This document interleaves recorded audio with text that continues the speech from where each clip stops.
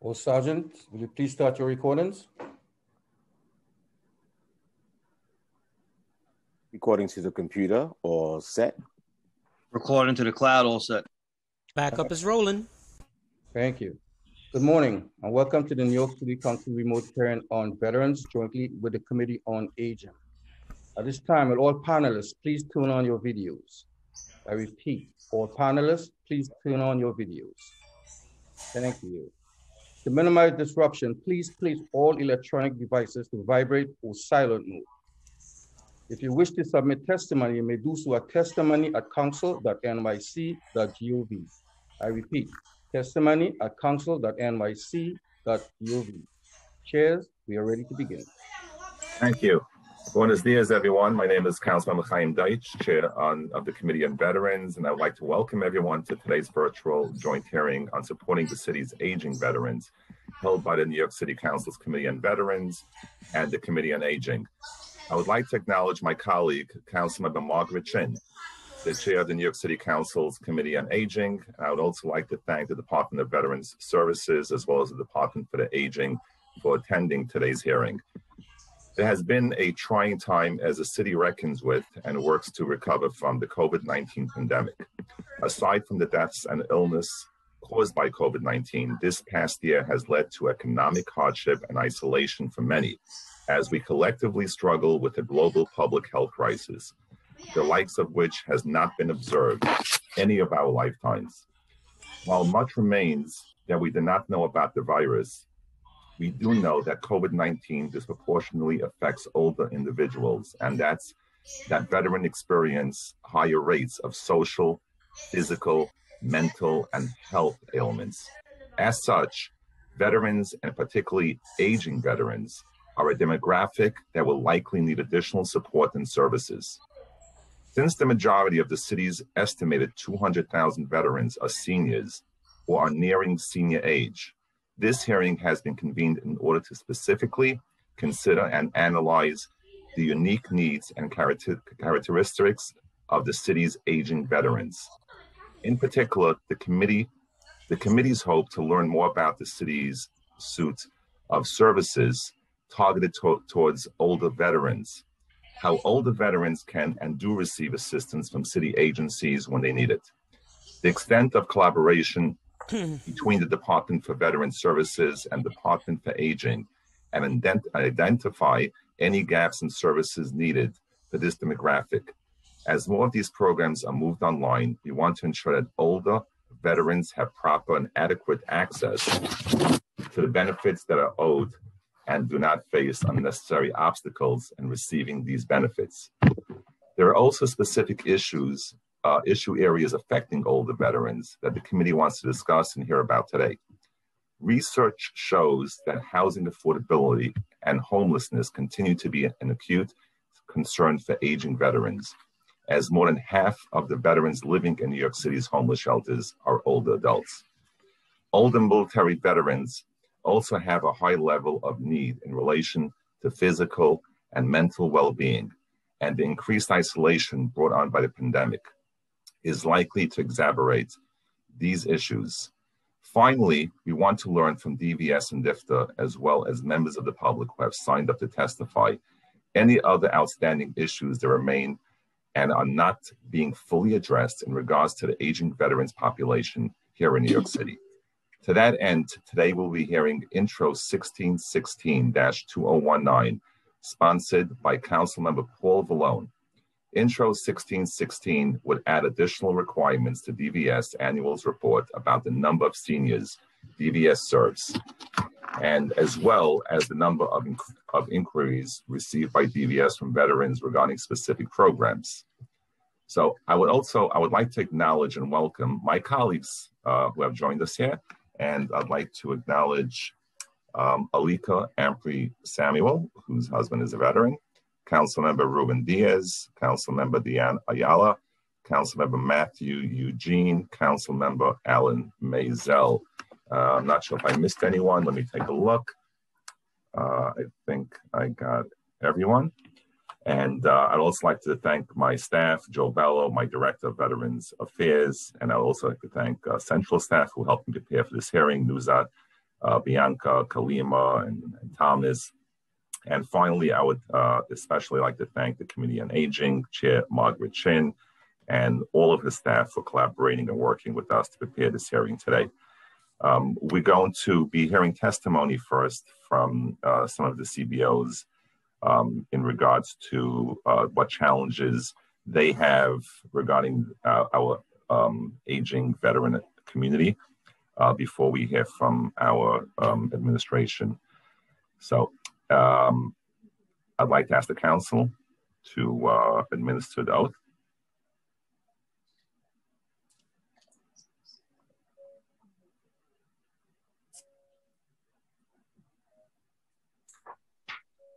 Hi, good afternoon, everyone. Thank you. My name is Bianca Vitale, and I'm council.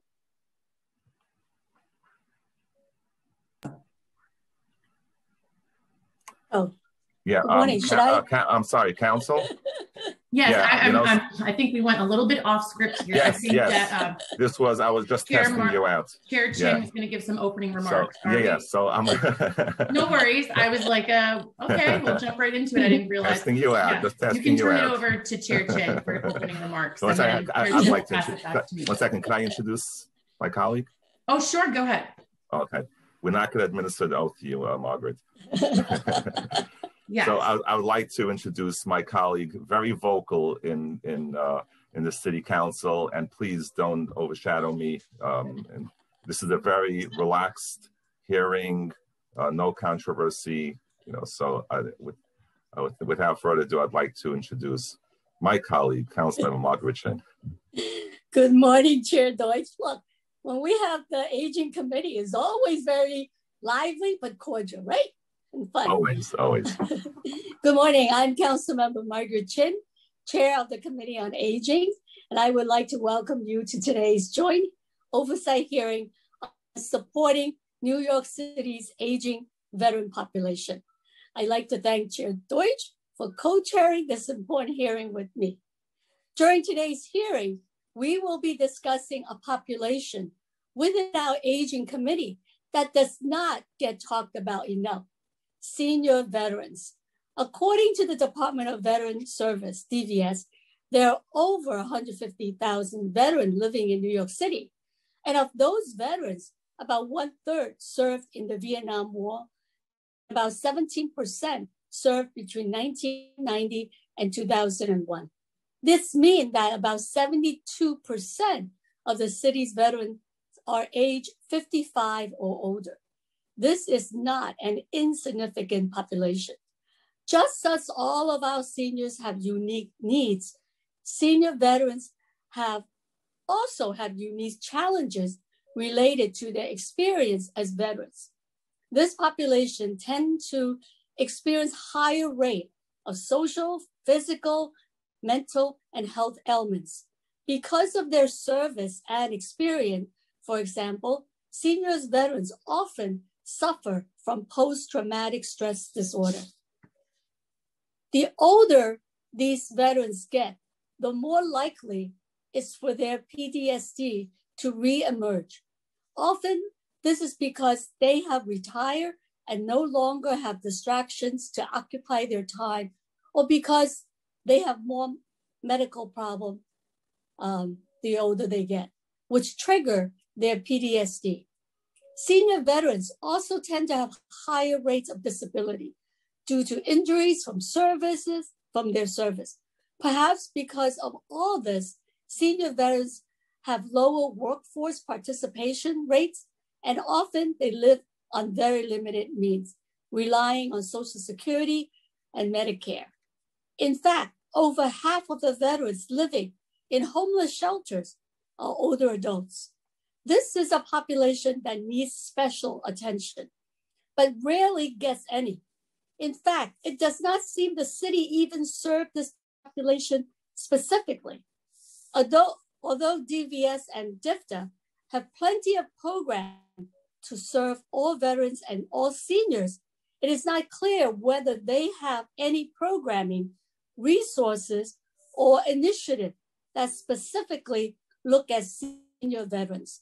It is also not clear what data the agency collect on senior veterans and their needs, or how the agency worked together to serve them. At this hearing, we want to hear from our senior veterans and senior veterans organization. We want to know what challenges senior veterans are facing. What has been their unique needs during this pandemic? What services have they been using and what services have been unhelpful to them during this time? And from DVS and DFTA, we want more information. We want to know how you are serving older veterans, what programs and resources you are offering them, and how your agencies communicate and are working together to make sure no senior veterans falls through the cracks. I'd like to thank the committee staff for their help in putting together this hearing, our counsel, Nuzhat Chowdhury, policy analyst, Kalima Johnson, finance analyst, Daniel Kroop, finance unit head, Dohini Sompura, and my director of legislation, uh, Kana Irvin. And I'd like to thank the other members uh, of the committee for joining us today. Uh, now I will turn it back to Chair Deutsch. Thank you. Thank you. Thank you, Margaret. Very well said. Uh, I will now ask our committee counsel, Bianca Vitale, to go over some procedural items. Perfect. We did great. Hi, everyone. Um, thank you. My name is Bianca Vitale, and I am counsel to the Committee on Veterans for the New York City Council. Before we begin, I want to remind everyone that you will be on mute until you are called on to testify when you will be unmuted by the host. I will be calling on panelists to testify. Please listen for your name to be called. I will be periodically announcing who the next panelist will be. For everyone testifying today, please note that there may be a few seconds of, of delay before you are unmuted, and we thank you for your patience. All hearing participants should submit written testimony to testimony at council.nyc.gov. At today's hearing, the first panel will be representatives from local veterans organizations, followed by council member um, questions, then we'll, after the first panel, we will hear from the administrative um, administration's representatives, followed by council member questions, and then the remaining panelists um, will give some testimony. During the hearing, if council members would like to ask a question, please use the Zoom raise hand function, and I will call on you in the order in which you have raised your hands. I will now call on the first panel. Testimony will be provided by Ashton Stewart, Joe Vitti, Peter Kempner, Coco Culhane. I would like to now welcome Ashton Stewart to testify. After Mr. Stewart, I will be calling on Joe Vitti, Peter Kempner, and then Coco Culhane to testify. Ashton Stewart. Good morning. Thank you so much um, for having this hearing today and for inviting SAGE and SAGE Vets to participate. Um, Chair Deutsch, happy belated birthday to you, sir. Um, and uh, very nice to meet you, Chair Chin. Um, Don't give my age. Thank you. Um, de definitely won't. I'll respect that. Um, Sage Vets is a New York State program um, for older LGBT veterans and that started in 2014, and I've been the program manager since May of 2018. We're profoundly grateful for the support from the City Council um, and uh, the Committee on Veterans uh, for helping us raise our uh, profile here and get a little bit more work done. Um, speaking of access issues, I just want to start out with the top issue that's a federal issue, the National Records Center, uh, where we get all of the uh, personnel files um, from a military member's service. has been closed since March 2020.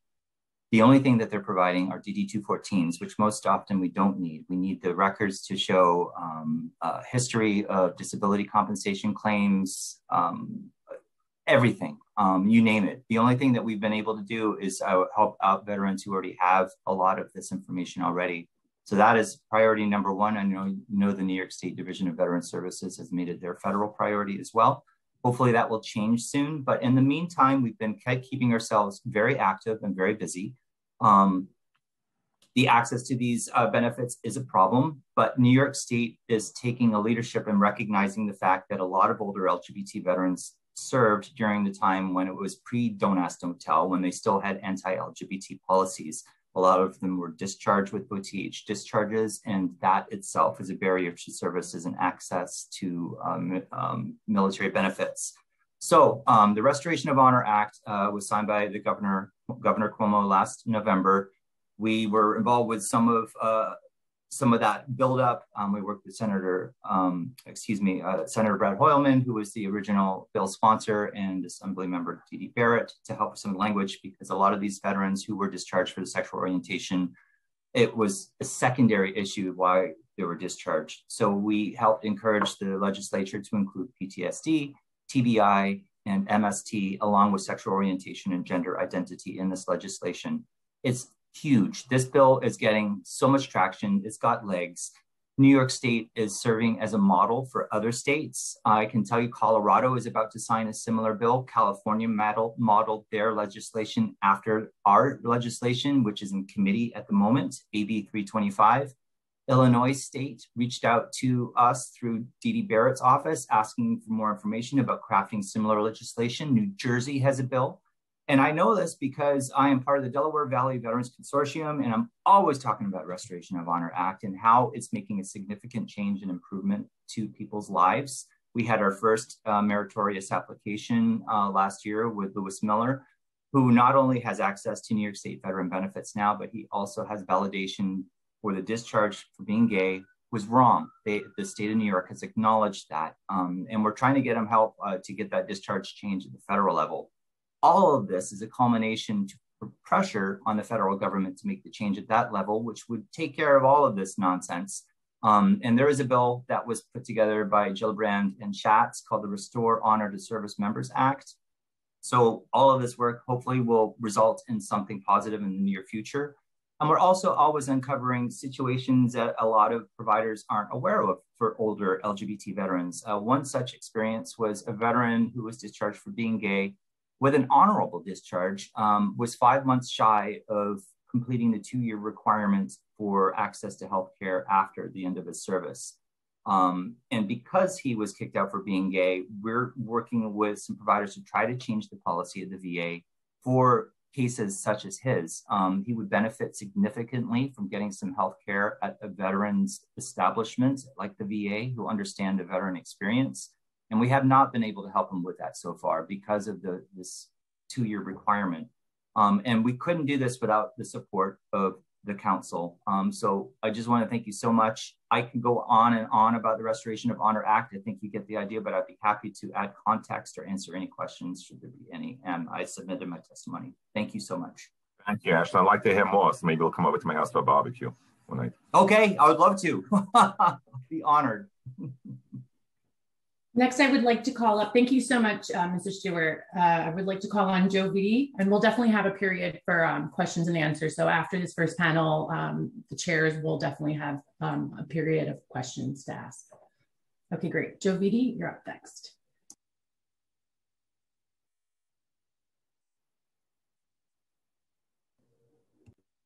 Sorry.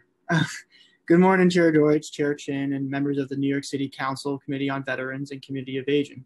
My name is Joe Vitti. I'm the Director of Visitor Service of New York's Veterans Program. I'm also a post 9 11 veteran who served in the U.S. Army as a military intelligence officer. Um, I want to thank you for the opportunity to testify about the hospice and home care services that the Visiting Nurse Service of New York provides to our aging veteran population.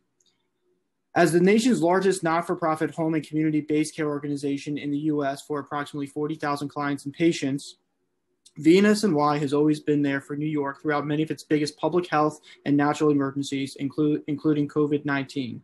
Since March of 2020, VNSNY has cared for more than 6,000 COVID positive New Yorkers throughout the five boroughs. There are approximately 140,000 veterans in New York City today, 71% of, of whom are older than 55 years old. Due to the health complexities of vets and the complexities of the VA healthcare system and the systemic poor health literacy among veterans, many veterans never fully access or utilize the benefits that they need. As New York City's veterans population continues to age, it is becoming even more important to make these services available, as well as provide community outreach so that they know about their full VA benefits and community health organizations within their within their own communities and neighborhoods. VNSNY is the is the hot VNSNY Hospice is the largest home care and hospice provider to veterans in New York State.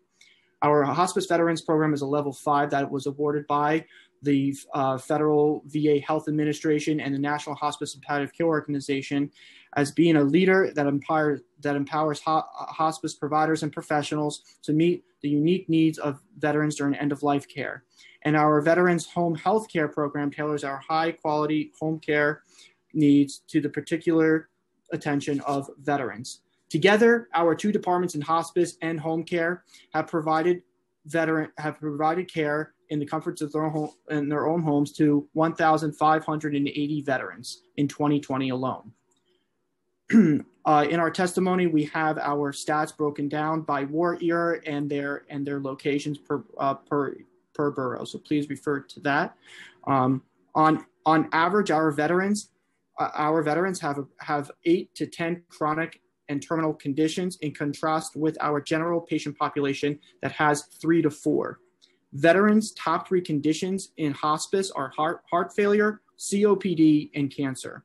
In our home care, it's surgical recoveries, medication management, and cancer as well. Both programs provide veterans and their families with, with a skilled veteran liaison who assists them with accessing the many benefits and services available.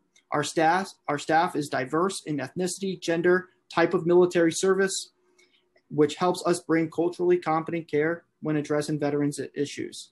We've continued to provide this care throughout COVID 19, both in person and through telehealth outreach, and have conducted virtual events to, in order to engage with community organization and veteran service organizations throughout.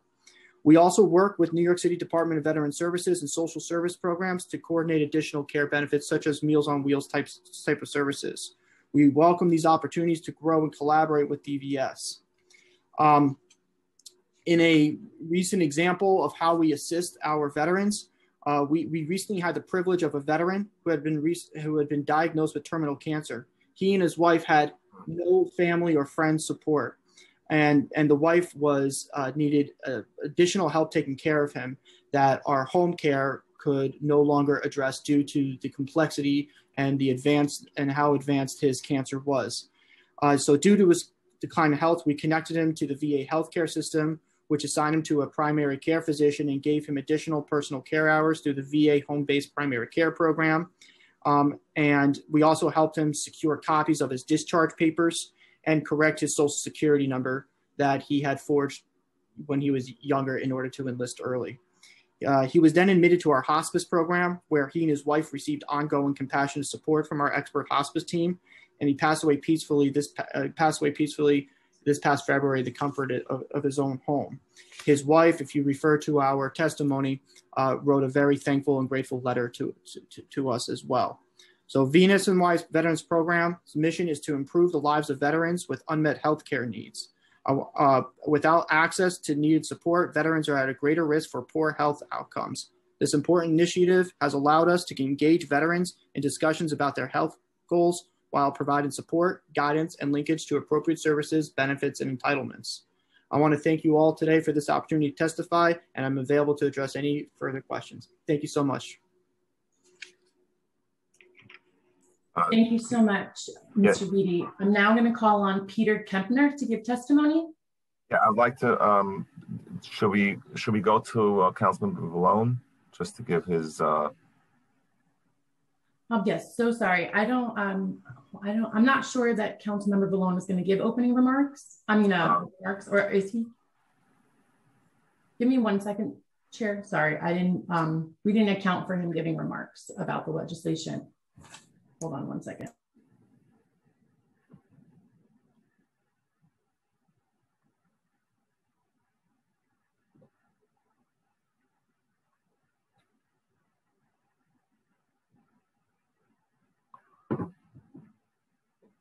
You know, Chair, can we just uh, finish this first panel? Because I yeah, sure. questions and staff. Let's just finish up the okay, testimony right. the first panel. And then um, if we have to stop questions and answers to uh, you know, to turn it over to Councilmember Vallone, then we'll pivot.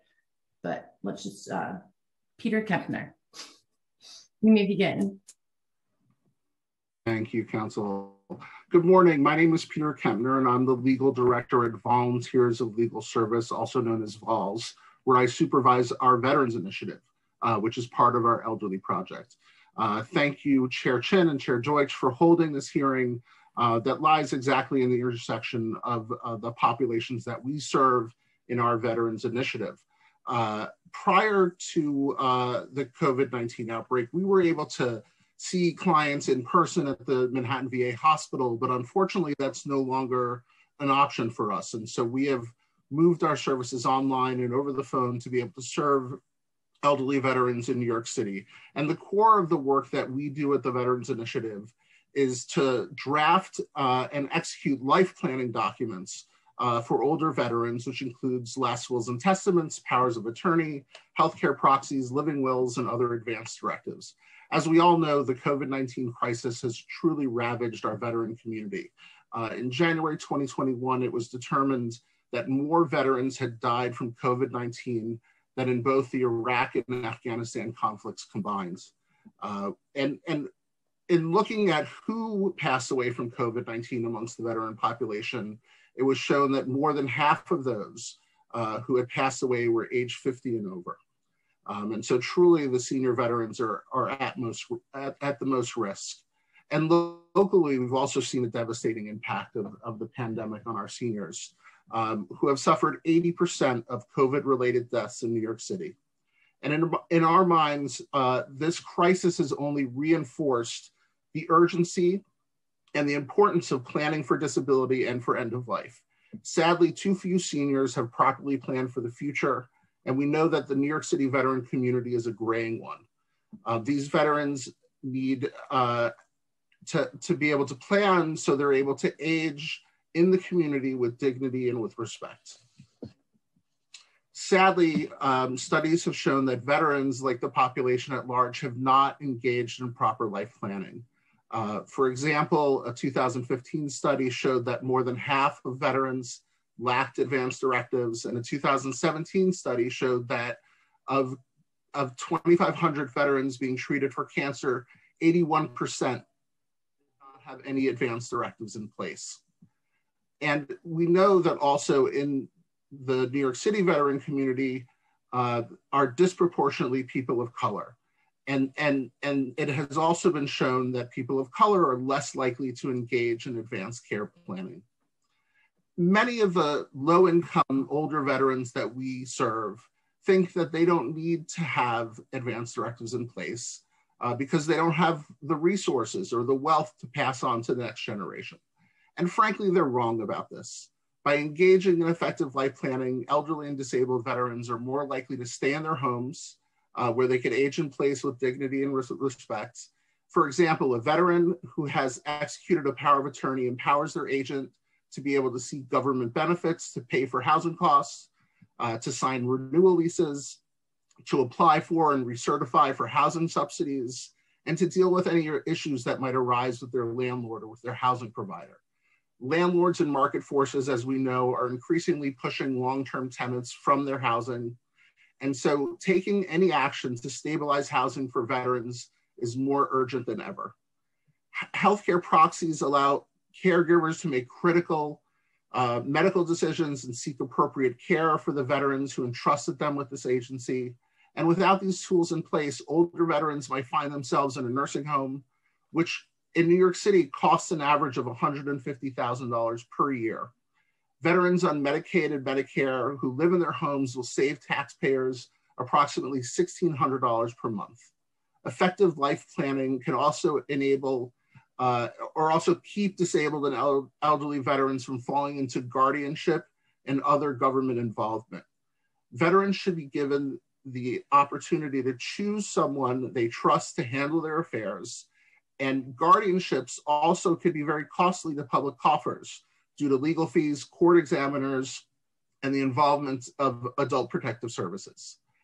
Our hope is that the oversight being co conducted today by your two committees, the reporting re requirements that are outlined in Intro 1616 will bring to light many of the issues that older veterans in New York City face. Cooperation between DVS and DFTA is one key to meeting the needs of older veterans, and we applaud the recognition of this intersectionality that is embodied in holding this joint hearing today.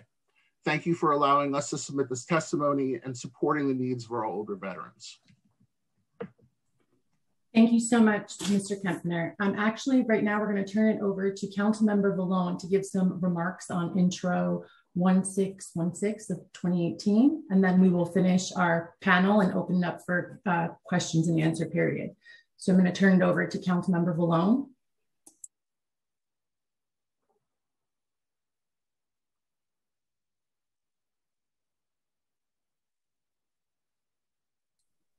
There we go. Thank you so much. Good morning, everyone.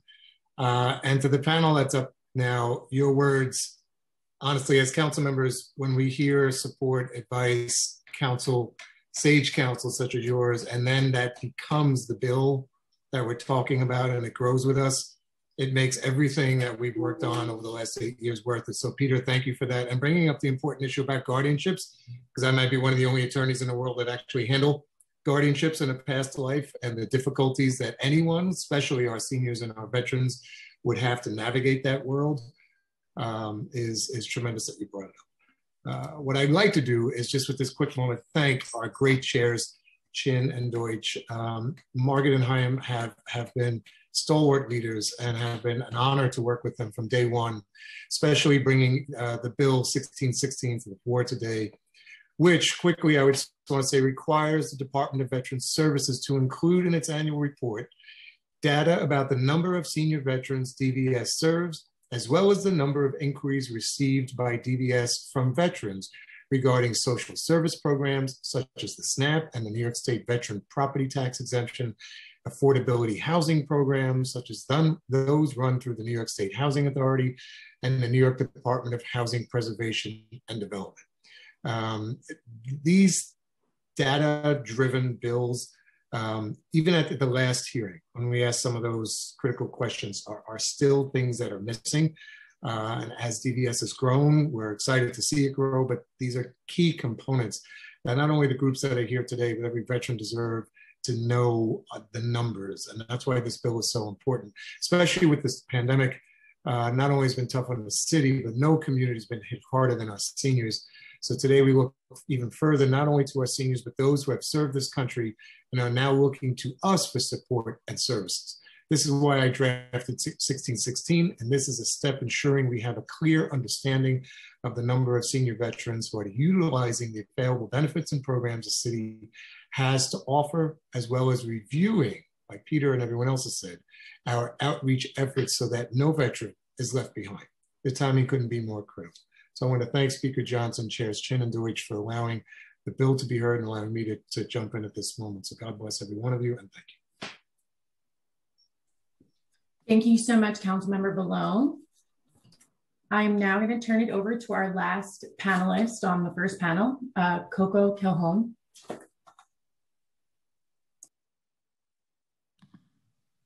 Thank you. Um, thank you to Chair Deutsch and Chair Chin for the opportunity to speak today. Um, I've submitted about 10 pages of uh, testimony that has all kinds of facts and recommendations in terms of um, what I think we need to be doing. But I just wanted to highlight a few things, which basically that we're not doing anything. Um, sort of as a city, citywide, there are no uh, programs that work on outreach for veteran, you know, senior veterans and specifically those entitlements that they've earned. Um, I think Chair Chin pointed that out in her opening statement, and it's true. Um, if you go on DFTA's website, the word veteran isn't even there. Um, and given that that's, you know, a sizable portion of New York City seniors, it should be. Um, you know, you'd think even a link over to DVS. Um, so I just also wanted to touch on, um, obviously something everyone's talked about, Pete was just referring to the digital divide that so many seniors are not online. Um, so we're all kind of talking about moving our services online, but that's not effective in the end um, because so many seniors can't access us uh, that way.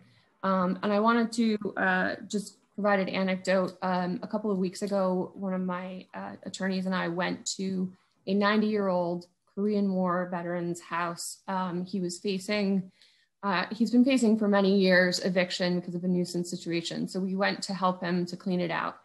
And we discovered, um, you know, we had done the vet check, mission vet check over the summer. We had given him a phone call. He said he was fine.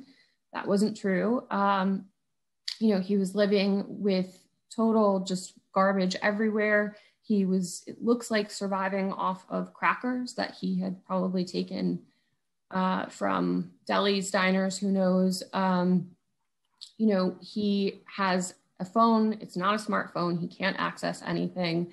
He used to rely on a senior program at the Y near his house. He can no longer go there. It's been closed for over a year, along with all the other senior centers. Um, and so, you know, this is a perfect example of someone who is the hardest hit, who is completely isolated. He has no family. Um, and we went to get him set up. You know, he had had food stamps, they got cut off. We went to apply, everything's online. Um, you know, I'm trying to figure out, well, I guess I'll put my email in for it. Um, we did reach out, thankfully, um, for emergency grocery delivery, which is fantastic uh, for him. But this is just the perfect example, right? Where no matter what services we're all providing, if we're not finding a way to reach those individuals, they are suffering. And, um, you know, so many of our clients tell us the library is how they got online, and they can't do that anymore. Um, and there's no one there, even if they do have access, there's no one to help them figure it out. Whereas at the library, there was, or at these senior centers. So I think we really need to come together as a community and figure out how do we reach these people. It can't, you know, it can't just be that check alone. It can't just be DVS alone. It really, it has to be a community effort.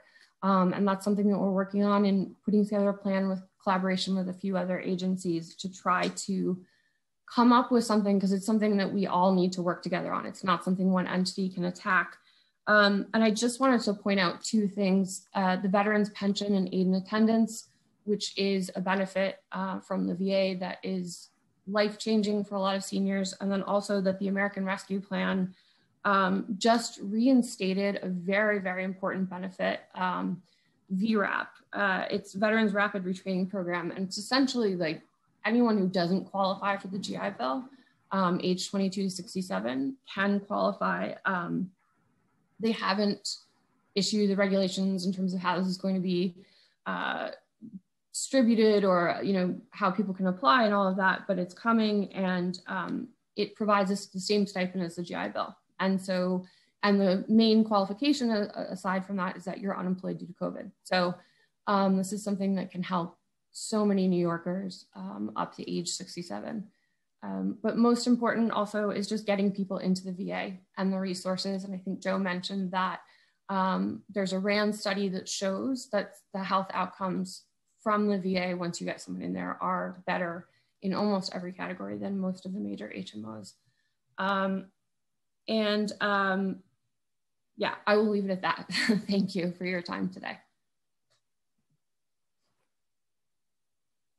Thank you so much, Coco. I'm now going to turn it over to Chair Deutsch, um, who will be asking questions first. Uh, panelists, please stay unmuted if possible during this question and answer period. Thank you. Chair Deutsch, please begin. Yeah, thank you. Uh, first, I want to acknowledge uh, some of my colleagues who have joined, uh, Councilmember Brooks Powers, Councilmember Treyger, and uh, you heard from Councilmember Vallone before. Uh, thank you. Um, so I don't have I don't have uh, any questions for our panelists, but what I just want to say is that how important it is, like Councilmember Vallone mentioned, how important it is that when um, members, not only the city council, members of the public, sees the you know how CBOs, how um, not-for-profits, how organizations are working together, serving our veteran population. The resources are there, and the people are there. The advocates are there and um, you put in, you know, you put in so much um, with all your heart. You put in, you know, for our veteran population, not just for our seniors, for, for all the 220,000 veterans here in New York City. And it's so good to see that no matter where you turn, um, you could get help. A veteran can get help, but the obstacle is knowing where to turn. And that's what this is all about: is giving out that information, letting people know um, that there are people out there who are not only willing to help, who actually get the help to those and fight for those veterans who are, are going through challenges and obstacles, uh, you know, in their life. So I just want to really thank, um, you know, everyone, not only not only those who testified, the Ashtons, Joe, Peter, um, Coco, And I want to thank all the advocates, um, all the volunteers, all the people who, who are um, who are working for the better of our veteran community for all that you do. Uh, this is probably one of the most important things that that we um, that we can do in life to serve our veterans, for those who put their lives in the line uh, for, for our country. So I just want to thank you all, and it was so important to have um, to have you testify because you know when we have the administration come up and testify first, and then we hear from um, from the advocates, it, it's not always helpful. So we want the administration to hear firsthand um, what the challenges are for the, the older adults in the veteran population. So I want to thank you all. Great. And now I'm going to turn it over to Council Member um, Margaret Chin. If you have any questions for the panelists, Chair Chin. Yeah, thank you. Uh, I, yeah, I just really wanted to um, thank this panel um, for your testimony and for your service and and all the great work that you do for our seniors and our uh, older veterans. It's it's really heartwarming to hear that there are organizations and people out there who are doing this work uh, to support um, the aging veterans, and that's what we need to do in the council is to make sure that resources are available uh, to organizations like yours so that you can continue to do the work, the great work that you do, and to make sure that agencies are working together. Uh, and it's just so important to get the information out. It's it's oftentimes it's very sad to hear, you know, when someone come to our office, you know, asking for help, and it was like, and it's also last minute, you know, like they didn't know that these services were available. Um, so I just wanted to, uh, you know, thank all of you for your service. Thank you. Thank you. Uh, thank you, Chair Chin. I, I just have a question. Actually, it's not one of the panelists, but I have a question from for, for Margaret from the Intrepid. Is that a live shot? It looks so tempting. I want to go. I want to run over there as soon as the hearing's over. No, it's not. okay. I will now call on council members in the order they have used the Zoom raise hand function. If you would like to ask a question and you have not yet used the Zoom raise hand function, please do so now. Council members, please keep your questions to five minutes. The Sergeant at Arms will keep a timer and will let you know when your time is up. You should begin once I have called on you and the Sergeant has announced that you may begin.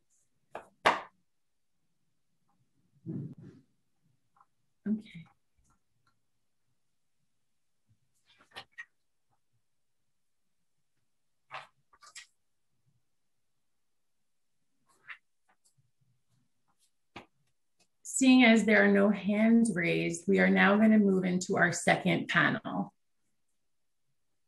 I will now call on members of the administration to testify. Testimony will be provided by Mari Espinal, Luella Byers. Additionally, Vincent Garcia, Director of Intergovernmental uh, Affairs and Ombudsman for DVS will be available to answer questions. Before we begin, I will administer the oath. Amari Espinal, Vincent Garcia, and Luella Byers. I will call on each of you individually for a response. Please raise your right hands. Do you affirm to tell the truth, the whole truth, and nothing but the truth in your testimony before the committee and to respond honestly to council member questions? Mr. Espinal. I do. Mr. Garcia? I do. Mrs. Byers? I do. Thank you. Mr. Espinal, you may begin when ready.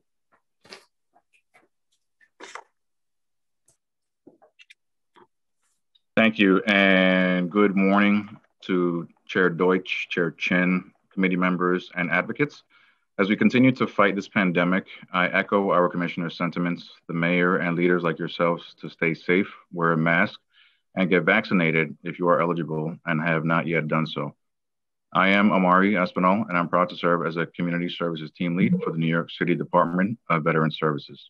I am joined today by Vincent Garcia, our Director of Intergovernmental Affairs and Ombudsman, and Luella Byers, Assistant Commissioner, Bureau of Community Services at the Department for the Aging. I welcome this opportunity to testify about the senior veteran constituency. the programs and services we offer, and our ongoing data collection efforts. Further, I welcome the opportunity to discuss the proposed legislation, Introduction 1616. New York City is home to approximately 200,000 veterans, active duty service members, and reservists.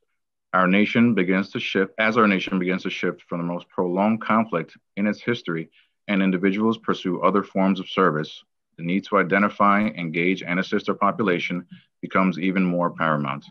With this in mind, our agency began a robust data collection effort in the summer of 2019. Since then, our agency has entered into or is currently negotiating over 15 memoranda of understandings, comprising of approximately 70,000 veteran constituent contacts. In working with the VA alone, DVS has received access to the names, addresses, and corresponding VA benefits codes of roughly 30,000 individuals, with a large number being seniors. Through these efforts, DVS has strengthened and empowered our existing relationships with government agencies while developing new ones. In March 2020, DVS shifted its newsletter to occur weekly, serving as a source of information for veterans, advocates, and government officials. In moving into a weekly report, DVS increased the average email open rate by over 50%, directly connecting with constituents and providing a highlight of programs and services. Our other digital outreach tools fared similar beneficial outcomes. During 2020, our agency was able to double its number of Facebook posts, reaching a total of 225,579 individuals, a 63% increase compared to 2019. Similarly, the DVS Twitter account and Instagram page saw increased followers and interactions, leading to expanding the DVS brand and its familiarity with constituents. However, our engagement with the senior population exceeds digital outreach. To better connect and understand the veteran population's immediate needs, DVS has developed innovative ways to work smarter and better. While DVS has always maintained close ties with DFTA, our commissioners have developed an ongoing relationship with one another. Whether in person or in a virtual setting, DFTA continues to connect with providers who serve the general senior population. Throughout several events, DVS attended these meetings with DFTA providing an overview of our agency, the number of programs and services we offer, and the agency's contact information and social media handles. This way, a veteran or an individual on their behalf has the appropriate contact information to reach our agency and receive excellent service. As first suggested by the Council, DVS also began reaching out to each of the respective community boards.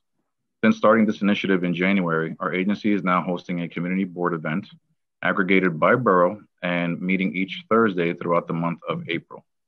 Lastly, as highlighted in our previous testimonies, during the start of the pandemic, DVS worked tirelessly to distribute approximately 38,000 face masks to veteran constituents and provide 22 microgrants to VSOs throughout the New York City region. We are confident that our data collection efforts will continue to capture more veterans through these increasing touchpoints with the community and therefore expand services. During our last hearing, we spoke about the VetConnect NYC transition into an in-house platform. In transitioning into this platform, we carefully weighed the concerns and issues raised by nonprofit partners, the council, and constituents while maintaining the quality of services veterans became familiar with. One central theme that arose from the council was DVS's accessibility to data. Since the transition into the Unite Us platform, DVS can better maintain constituent data, highlight applicable services, and most importantly, gather the insight necessary as we move into our new chapter as an agency. For example, since our transition on October 1st, approximately 20% of all service requests are made by individuals who are 60 and older, totaling 178 service requests. According to our data, the top three service requests for aging veterans are benefits navigation, housing and shelter, and legal. Interestingly, since the transition onto the Unite Us platform, service providers on the network can identify any specialized support or services for niche populations such as quote veterans unquote and quote seniors unquote. Of the 114 organizations, 31 have listed seniors as a specialized population. When combined with the 14 mental health partners, we are confident that senior veterans, like their younger counterparts, have access to a wide range of services dedicated to meeting their needs. Through the most troubling times of the pandemic, New Yorkers everywhere, and particularly seniors, face increasing levels of isolation and a lack of connection and interaction. We are proud to share that our Mission Vet Check outreach initiative is still ongoing. Although the height of the pandemic is thankfully behind us, its impacts will be felt for months and years to come. That's why we firmly believe in continuing the effort to make direct contact with our constituents. It's imperative that they know they are not alone and that there are resources available to help, especially for our older veterans. To date, Mission VetCheck has made 28,670 calls to veterans and their families with a 23% engagement rate. The initiative has also connected 869 veterans to information, resources, and services. Mission VetCheck has also recently served as a conduit for vaccine information as our volunteers are equipped with helpful information from both the city and the VA. Through the generous services of the New York National Guard, more than 12,000 calls were placed during the darkest months of April, May, and June 2020. Starting in July 2020, New York Cares volunteers began supporting the project, and to date, more than 400 of their volunteers have supported Mission Vet Check. The New York Cares volunteers who support this initiative have been truly incredible. Some have been making calls to our community every week since our partnership launched in July because they realize how much of a difference a simple, supportive phone call can make in someone's life. Over the course of two focus group sessions we recently held, one volunteer expressed how grateful the veteran was to hear from someone looking to help. Quote, I was praying that someone would reach out to me, and your call came just when I needed it, end quote, expressed Kai, who has volunteered for the project for the last few months. This veteran articulates the feelings shared by so many others since the onset of the pandemic. As Mission Vet Check continues to make calls, reaching an ever increasing number of veterans, we are confident that our reach will continue to expand and more veterans will receive the services they've come to rely upon. One of the most significant concerns facing New Yorkers during the pandemic is food insecurity. To address this need, DVS has partnered with Get Food NYC to ensure that our veteran populations can access all of the avenues through which the city provides food assistance to New Yorkers. To support these efforts, DVS coordinators receive training and certification as Get Food authorized enrollers and are assisting veterans in navigating this program's requirements to get food. Veterans can independently or through one of our DVS coordinators submit a food request once every three days or two weeks of recurring orders. Since the start of this program, DVS has assisted 552 individual veterans with gaining access to food.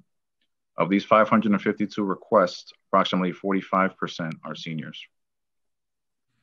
As the council is aware, our work to address food insecurity goes well beyond Get Food NYC.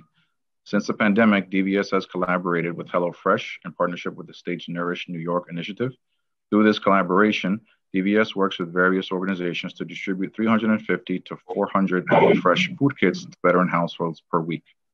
Since this program's launch, DVS has delivered 65,000 533 meal kits to veteran households, 24,000 in this year alone.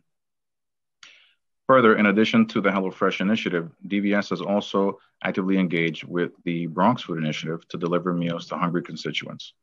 Through this collaboration, DVS has distributed 25,632 meals, uh, boxes to hungry New York City veterans, and over 9,270 meal boxes this year alone.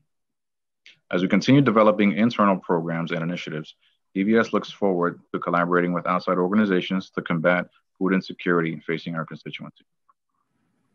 Veterans experiencing homelessness is one of the foundational pillars of this agency. Even during the pandemic, which DVS understands has created greater housing insecurity, DVS continues to house veterans to sure, ensure that they are in safe, secure housing. While our veteran peer coordinators are no longer working in city shelters, they continue their important work to house veterans, albeit under different circumstances. For example, house viewings and interviews shifted to virtual modes, and management companies opted to complete a phone or video call interviews with potential veteran applicants. If virtual options were not sufficient, our VPCs would safely conduct physical inspections of the units, pick up and drop off documentation, and assist with the veteran's move. Through these efforts, DVS has found notable success. Since the start of the fiscal year, we've housed 105 veterans, 33 of whom are seniors. Interestingly, when taking into account those who are 55 and older, that number increases to 56. This past November alone, DVS staff housed 29 individuals, our second highest monthly total in the past three years. To achieve this goal, we've utilized existing programs such as City FEPS, HUD-VASH, and VASH Continuum, providing our constituency with various housing options. Further, we've engaged and communicated with landlords to expand the pool of housing options for our veterans. When considering the specific needs of our older population, DVS developed innovative methods to house these veterans. Due to delays in obtaining documents at the onset of the pandemic, DVS worked directly with supporting veterans in obtaining documents. We expanded our accessibility by accepting applications via email, the online portal, and scheduling phone calls to assist in their submission.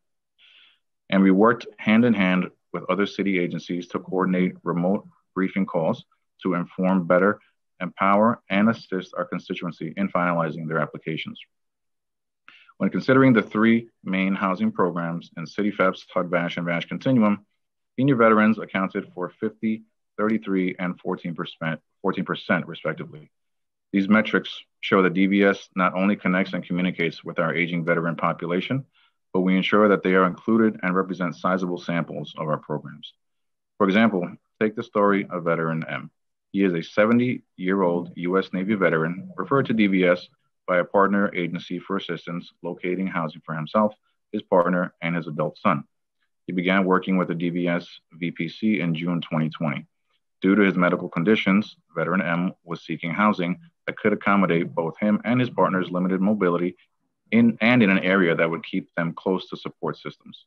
After seeking and viewing several units that did not meet accessibility needs, in January 2021, the veteran was able to move out with his family to a unit in Staten Island. Since his move out, the VPC has been in touch. They were able to secure furniture for their two bedroom apartment and are settling into their new home. Or take the story of veteran F. He is a 65 year old Army veteran referred to DVS's HSS team in August 2020 for housing assistance. Veteran F was chronically homeless at the time of referral. After receiving the referral, Veteran F was scheduled by DVS to interview for a supportive housing unit in the Bronx to help his transition from homelessness to housing. Veteran F began the process with a virtual interview and eventually moved out in November to his own newly furnished studio apartment. As we continue to work smarter, utilizing the number of resources available to New York City veterans, such as CityFEPS, HUD-VASH, and VASH Continuum, we can assure you that senior veterans will continue to receive the care, assistance, and engagement they've come to rely on. It was only five short years ago that our agency evolved from a mayoral office to a New York City charter agency. During the first years of this agency, our staff was comprised of four dedicated employees with the vision to expand, collect, and engage the then 210,000 veterans who call New York City home. Since then, our agency has grown to approximately 40 employees, almost 70,000 veteran contacts, and a newsletter and social media outreach that exponentially expands from year to year. While we believe that there is room for improvement to assist our constituency, it is crucial to recognize how far we've come, particularly how this small but mighty group of civil servants stands dedicated to helping each New York City veteran and their family every day. As we consider the proposed legislation, we recognize the need to better track data across our veteran population and expand our accessibility to that data. As discussed earlier in the testimony, our agency is doing just that. Since the summer of 2019, through our MOU initiatives and inspired by Local Law 23, DVS has engaged our sister agencies to receive contact information for veterans currently receiving particular city services. In addition, DVS has acted on the goals expressed in Intro 1616 through Executive Order 65. Through EO 65, DVS has launched a community survey to compile the demographics of our community and their specific needs. DVS is still evaluating privacy considerations and operational implications related to the bill, but we stand committed to the intent of this legislation and reassure the Council we are actively collecting relevant data of veterans across New York City in creative ways and continue to grow our veteran contact list. We look forward to continued conversations with you on this important issue. As we navigate the challenges presented by the pandemic and beyond, DVS will continue to find new ways to best collaborate with DFTA and all of our fellow agencies to develop and provide quality services and inform the, to the New York City veteran community and information to the New York City veteran community. We thank you for the opportunity to testify on this matter and look forward to any questions you or committee members may have. Thank you so much, Mr. Espinal. I will now turn it over to Ms. Ms. Byers. You may begin. Sifter is here for Q&A. Oh, you're not giving testimony this afternoon? No. Oh, okay. All right. So I will now turn it over to um, Chair Deutsch if he has any um, questions for this the administration. Have, uh, are we having uh, testimony from um, Department of Aging? Well, Ms. Byers is the only um, admin here from from DFTA, and she said she's available for questions. Oh, okay. But no testimony. Okay. All right. Um, so my first question is: This is to DVS. Uh, how many veterans above the age of sixty uh, live in New York City? Uh, so currently, uh, we do have a breakdown of that, council member. Uh, and looking at the latest numbers, um, uh, we, we do see that uh, approximately 70% of the population in New York City are senior veterans. 70% of the population as a whole, or 70% of the population of veterans? Uh, so, so right now, DVS is able to confirm that those who are 55 and older account for approximately 71% of the New York City veteran population. City veteran population. Um, how many, how many of these um, senior veterans are, are homeless? So uh, we we were attempting to get that information from HUD. Unfortunately, HUD does not provide um, ages uh, for uh, for their homeless population, council member. Um, they, don't, they, don't, provide, but they don't have. They have. They have ages, right? They have to have ages. Uh, they they did not disclose that information, council member. When when uh, we did uh, the research, we were not able to to to locate that information from HUD in particular. You know why? Uh, I, I, don't have an exact reason, council member, but uh, we are actively uh, pursuing that information in order uh, to utilize it uh, to our best advantage. Um, so how, how is, I don't understand, how is DVS pursuing that? If HUD has the ages of homeless individuals, now wouldn't it just be like an email requesting if they had information, if they knew how many veterans um, are listed, wouldn't that just be like an easy number with today's technology just to respond? Is it something that is DVS is not concerned about that they don't uh, like push uh, HUD to give that information? I mean, you have DVS that's an agency here in New York City. Shouldn't it be the responsibility of DVS to receive that information? Uh, uh, of course, council member, and it's certainly not that, that we're not, uh, we don't care about that population. Uh, I, can have my colleague Vincent Garcia expand on the communication with HUD, uh, if you would. Yeah, sure. Thank you. Yeah, absolutely. It's um, it's definitely something that's ongoing. I think it's being able to recognize if there's any privacy concerns or or other metrics and being able to receive that data counts member. But what I can assure you is, is one of two things. One that we are actively working on that and also collaborating with our sister agencies in the event they're able to provide any of that information themselves. But I think second to that, as you know, we spoke about those MOU initiatives, it's figuring out alternative ways to better track that information on our housing populations and see how best we can extrapolate that data moving forward. Um, how long is DVS in, in uh, an agency here in New York City? Uh, roughly, I believe our birthday was April 5th, uh, sir. So roughly about a little more than five years. I'm sorry? A little more than five years now. A little more than five years. so in yeah. five years, um, DVS couldn't get um, general counsel to let HUD know if they can give that information to DVS? Well, I, I think it's I think it's more so just being able to increase as, as you know when we started with just four employees and we've increased the numbers throughout. It's also being able to increase those touch points and those communications with not just our city partners but federal partners. So what I can say is that that's something of, of paramount importance to us, and we're really working forward to develop a more working relationship with HUD to be able to get that information for you. So isn't it is isn't it like if we even have the city part of it, at least we have some kind of numbers. I'm sorry. If, if you, yeah, I just want I just want to tell um, um, people testifying saying DVS, if you don't have an answer to something, just tell me I don't have an answer, or you're right. But don't don't give me excuses and tell me waiting for general counsel when it's it's over five years when something could have been done. So let's get to the facts. If you have an answer, I'd like to hear the answer. If I'm right, just tell me yes, you're right. We need to do better. But don't give me an answer that we waiting for general counsel we have to ask because that is not an answer to me. that's that's completely understood, sir. Okay. Um, how many senior veterans does DVS serve specifically? Uh, so, are, are you saying, Councilmember, uh, in in general, or uh, when it comes to housing? In general. Okay. Uh, so currently, we are at a number of. Uh, one second. Uh, uh, we had uh, 178 uh, service episodes uh, for clients aged 60 and over. 178, as in 178? 178 service episodes within the uh, the Vet Connect NYC uh, platform that we disaggregated for, for age that were 60 and over.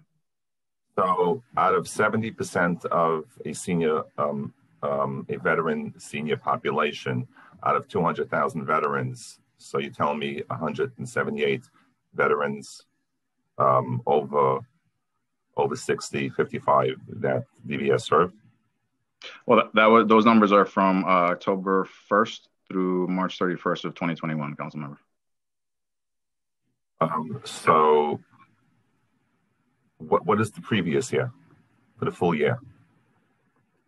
Uh, give me one moment. So we have uh, 148 uh, for fiscal year 2021. 148 total. For, for the fiscal year, correct. So, okay. Uh, th- this is why we have this joint hearing today between DVS and DFTA. Um, because DFTA has information and they have resources that could help seniors, uh, senior veterans. And the numbers you've given me, do you think those are those numbers are good? Like, well, Councilmember, we're, we're, we're always seeking to expand our, our messaging and outreach. Um, yeah, but 100, 100, between 140 and 170, 140 for a total year. Um, that's that's totally like unacceptable because how can you, you know, you, you know, if you had 10,000 or 20,000 or 30,000, because 70% are seniors right? So you're reading me from what from Vet Connect?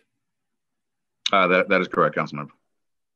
So um, that's still a very. I'm getting, I'm getting and I'm getting an update, uh, Councilman. I have uh, it's 1,620 since the start of Vet Connect in uh, fiscal year 2019. Which is which is also a very low number. Um, now, we keep on saying, and DVS, you in your testimony, that we have 200,000 veterans, right? 200,000 plus veterans. The numbers keep on changing from 210, 220, 200. Um, how many how many New York City veterans are there?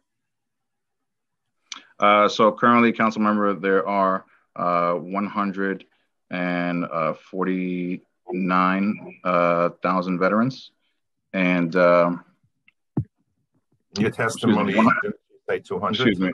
Excuse me. It's 151,000 uh, veterans in New York City. Uh, in addition to that, there are approximately 49,000 uh, active duty, uh, reserve, and National Guard members that are currently serving. Uh, okay, so um, okay, so we're talking about a population of about 200,000, correct? That is correct, Councilman. And um, does DVS represent 200,000 veterans, New York City veterans? We we strive to assist any veterans that that come to our agency for assistance, council member, and uh, we we you know we work with our sister city agencies as well as our state and federal counterparts to to address those needs as best we can. So in every testimony, I'm, I'm hearing about uh, the 200,000 veterans that DVS serves here in New York City.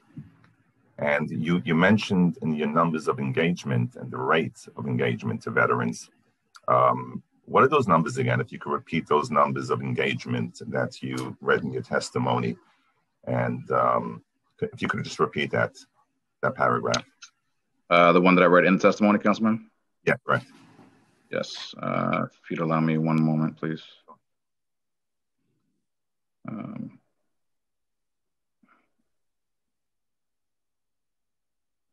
Vincent, do you have that uh, those numbers uh, readily available?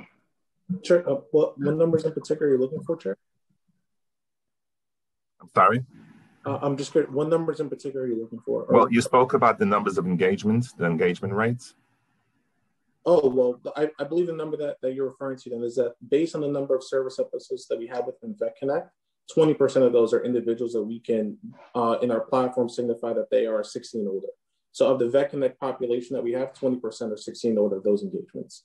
Is that what you're referring to, council member? No, I'm, I'm referring to the, the engagement um, um, engagement rates that you mentioned before in your testimony. If you just look at your testimony, um, you mentioned yeah, when you mentioned that I'm when sorry, you mentioned you do outreach to veterans and their families.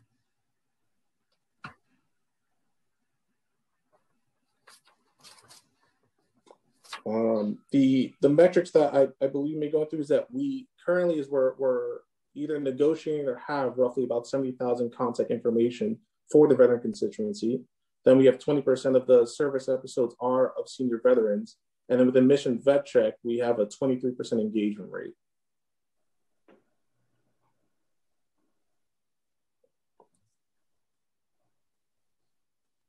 Can you repeat that again? Yes, sir. Uh, so based on our, our MOU initiative and then the list that we received from the VA, there's approximately 70,000 contacts that we're that we either receive or are working on. Uh, then there's 20% of our service episodes within VetConnect since October 1st, since transition. That is uh, uh, the senior population, ages 60 and older. And then in our Mission Vet Check initiative, um, there is a 23% engagement rate from the calls that we've made. And those calls are 28,670. So of that 28,670, uh, there's a 23% engagement rate from there. And that has led to 869 service episodes. which is still extremely low. Um, with respect to the community survey uh, issued by DVS, um, have the preliminary numbers revealed any information about senior veterans' needs during the pandemic? So uh, thank you for that question, Councilmember. We are still collecting data as the survey was recently launched. Uh, we do uh, collect data on the service era in which the veteran serves, and uh, there is an opportunity to collect age uh, afterwards, but uh, we're still waiting on collecting that information, you know, to a, a acceptable sample size. Um, the the uh, survey is currently set to uh, be available until October 1st of this year. Um, how does how does DVS, um, considering this this important hearing, how DVS and Department of Aging are working together? How does DVS and DFTA uh, do work together to serve the senior population? You did mention that you have a very close relationship, and that's not what I heard at the last hearing when I questioned them about the, the Department of Aging. Um, what their how many conversations they have and what kind of um, partnership they have working together about senior population. So I'm, I'm asking you, what is DVS and DFTA? How, they, how do they work together?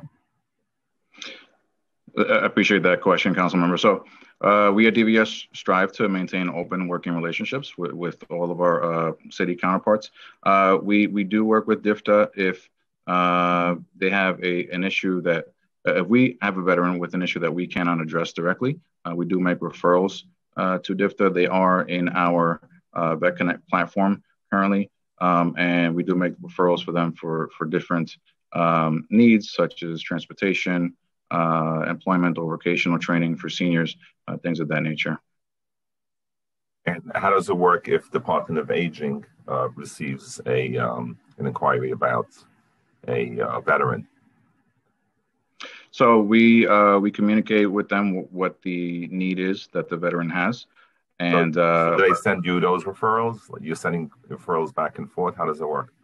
Uh, we do get referrals. We, we do work uh, on, a, on a case-by-case basis uh, when uh, we do need the assistance of, of, each other. Yes. How do they reach out? Um, how do they reach out to to uh, to DVS when they need assistance? Do they go on the portal? They contact. So so uh, we can we can make a referral within the VetConnect platform. as a courtesy, you know, typically there is a phone call or email that follows that. Uh, do you know what the number is like for for the year 20, 2020 of how many referrals uh, DVS uh, sent over to uh, how, how many referrals DFTA sent over to DVS?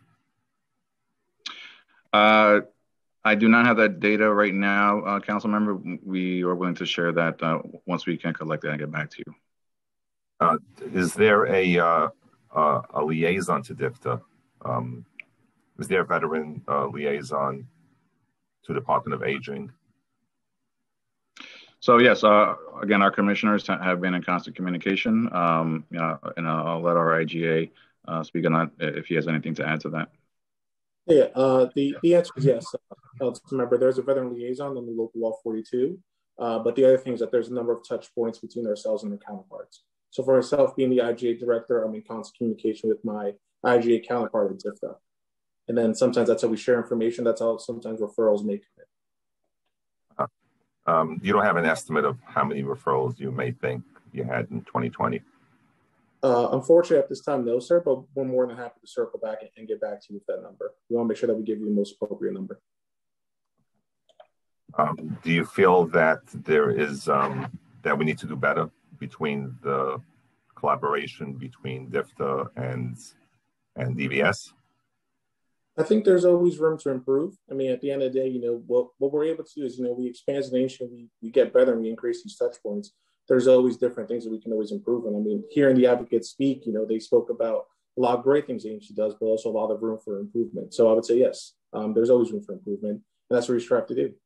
You mentioned, can you just talk about a few, a few ways that you feel that we could improve the relationship and the information um, that we share between Department of Aging and DVS? Um, yeah, absolutely. I will. Uh, I'm, I'm happy to start that off, and then I can, um, you know, transition over to my counterpart at DFTA to see if there's anything else that she would like to add. But I, I think really just, um, you know, collaboration on certain information, collaboration as as we were doing for this year, and I think beforehand on the number of programs that may be accessible for senior veterans, for example. And it's really just having that outreach to get out there. You know, there's a lot of wonderful things that I think DFTA is doing, DVS is doing, the city's doing as a whole. It's how can we make sure that this information um, is there for our veteran constituency so they're well aware of it and they know where to go and how to find it. And then I, will pass it off over to my counterpart. I would say uh, DFTA works very closely with all our colleagues at sister agencies. We do similar um, outreach to um, Department of Veteran Services by staying up to date on any concerns that our veterans have. I think over the past year, especially during this pandemic, I think our relationship has strengthened. Our commissioner has monthly meetings with our providers. These are borough-wide meetings, and we have had the commissioner of DVS attend these meetings where he can interact directly with our providers and let them know which resources and benefits are available uh, to their veterans population. So we thought that was a great link of having our providers who are on the ground, who provide the direct services, being in touch with the DVS and the DVS commissioner, and also contact information on how to reach out to DVS. We also reach out to DVS through our InterGov office. So if there's anything that we need, we will let our InterGov person know and they will reach out. I, mean, I, I would just think that if we if there was a close partnership, there would be testimony from from the Department of Aging, right? Because you would have probably like uh, ten pages, like Coco, who testified before, on how both agencies do work together. Um, so this is just, you know, I, I, you know, Department of Aging has a great chair who's very vocal and holds the, the, the agency accountable. But when you come in a hearing, when you come to a DVS hearing, and you don't have testimony of how you work closely together, how you give that information over, then that doesn't show that you do work together. This is just like, to me, it's lip service. Um, we all know, uh, first I want to ask, how many homebound uh, veterans are there in New York City? So, uh, council member, we are we are tracking the uh, number of veterans in in the city as a whole. Uh, unfortunately, we don't have the number of homebound veterans currently. Uh, we are working uh, to track down that information as well. You did mention in the beginning of your testimony that um, people should stay safe. They should wear masks. They should get vaccinated. You know, we do have um, vaccinations for homebound seniors, and how are you how are you talking about people should get vaccinated, and especially our, our senior population, who's been hit very hard. And then when I ask you a question about how many homebound seniors, when we do have the services here in New York City to vaccinate homebound seniors, and you don't have the number. So how are homebound veteran seniors supposed to remain safe if DVS doesn't have that number and we can't get them vaccinated? And we're well, we're well a year over the when since the pandemic started. I appreciate that that question, Councilmember, and it's something that we've uh, been collaborating with with with the New York Harbor VA. Um, as you all know, we, we held a town hall uh, on the vaccine uh, process. Uh, we inform uh, you know anyone that comes our way on uh, all avenues of receiving a vaccination, and and you know we do understand that that in the veteran within the veteran community, word information does travel by word of mouth. So uh, we, we, are we are trying to to do both virtual and in-person outreach uh, as best as we can. And you know, word of mouth is very good, but the whole purpose of DVS is to disseminate the information, to get the information out. And we did speak about at the beginning of the hearing how you know, with the work of all the advocates, uh, it's so important because it's all about getting the word out, not waiting for phone calls. And what you just mentioned is we're waiting for we're waiting for calls, you know, for people to inquire about the vaccination. But it's DVS's job to reach out and get a hold of those homebound seniors to make sure they get vaccinated. So that that answer is totally unacceptable to me because you need to get out there. And most of the senior population, not everyone has um, technology.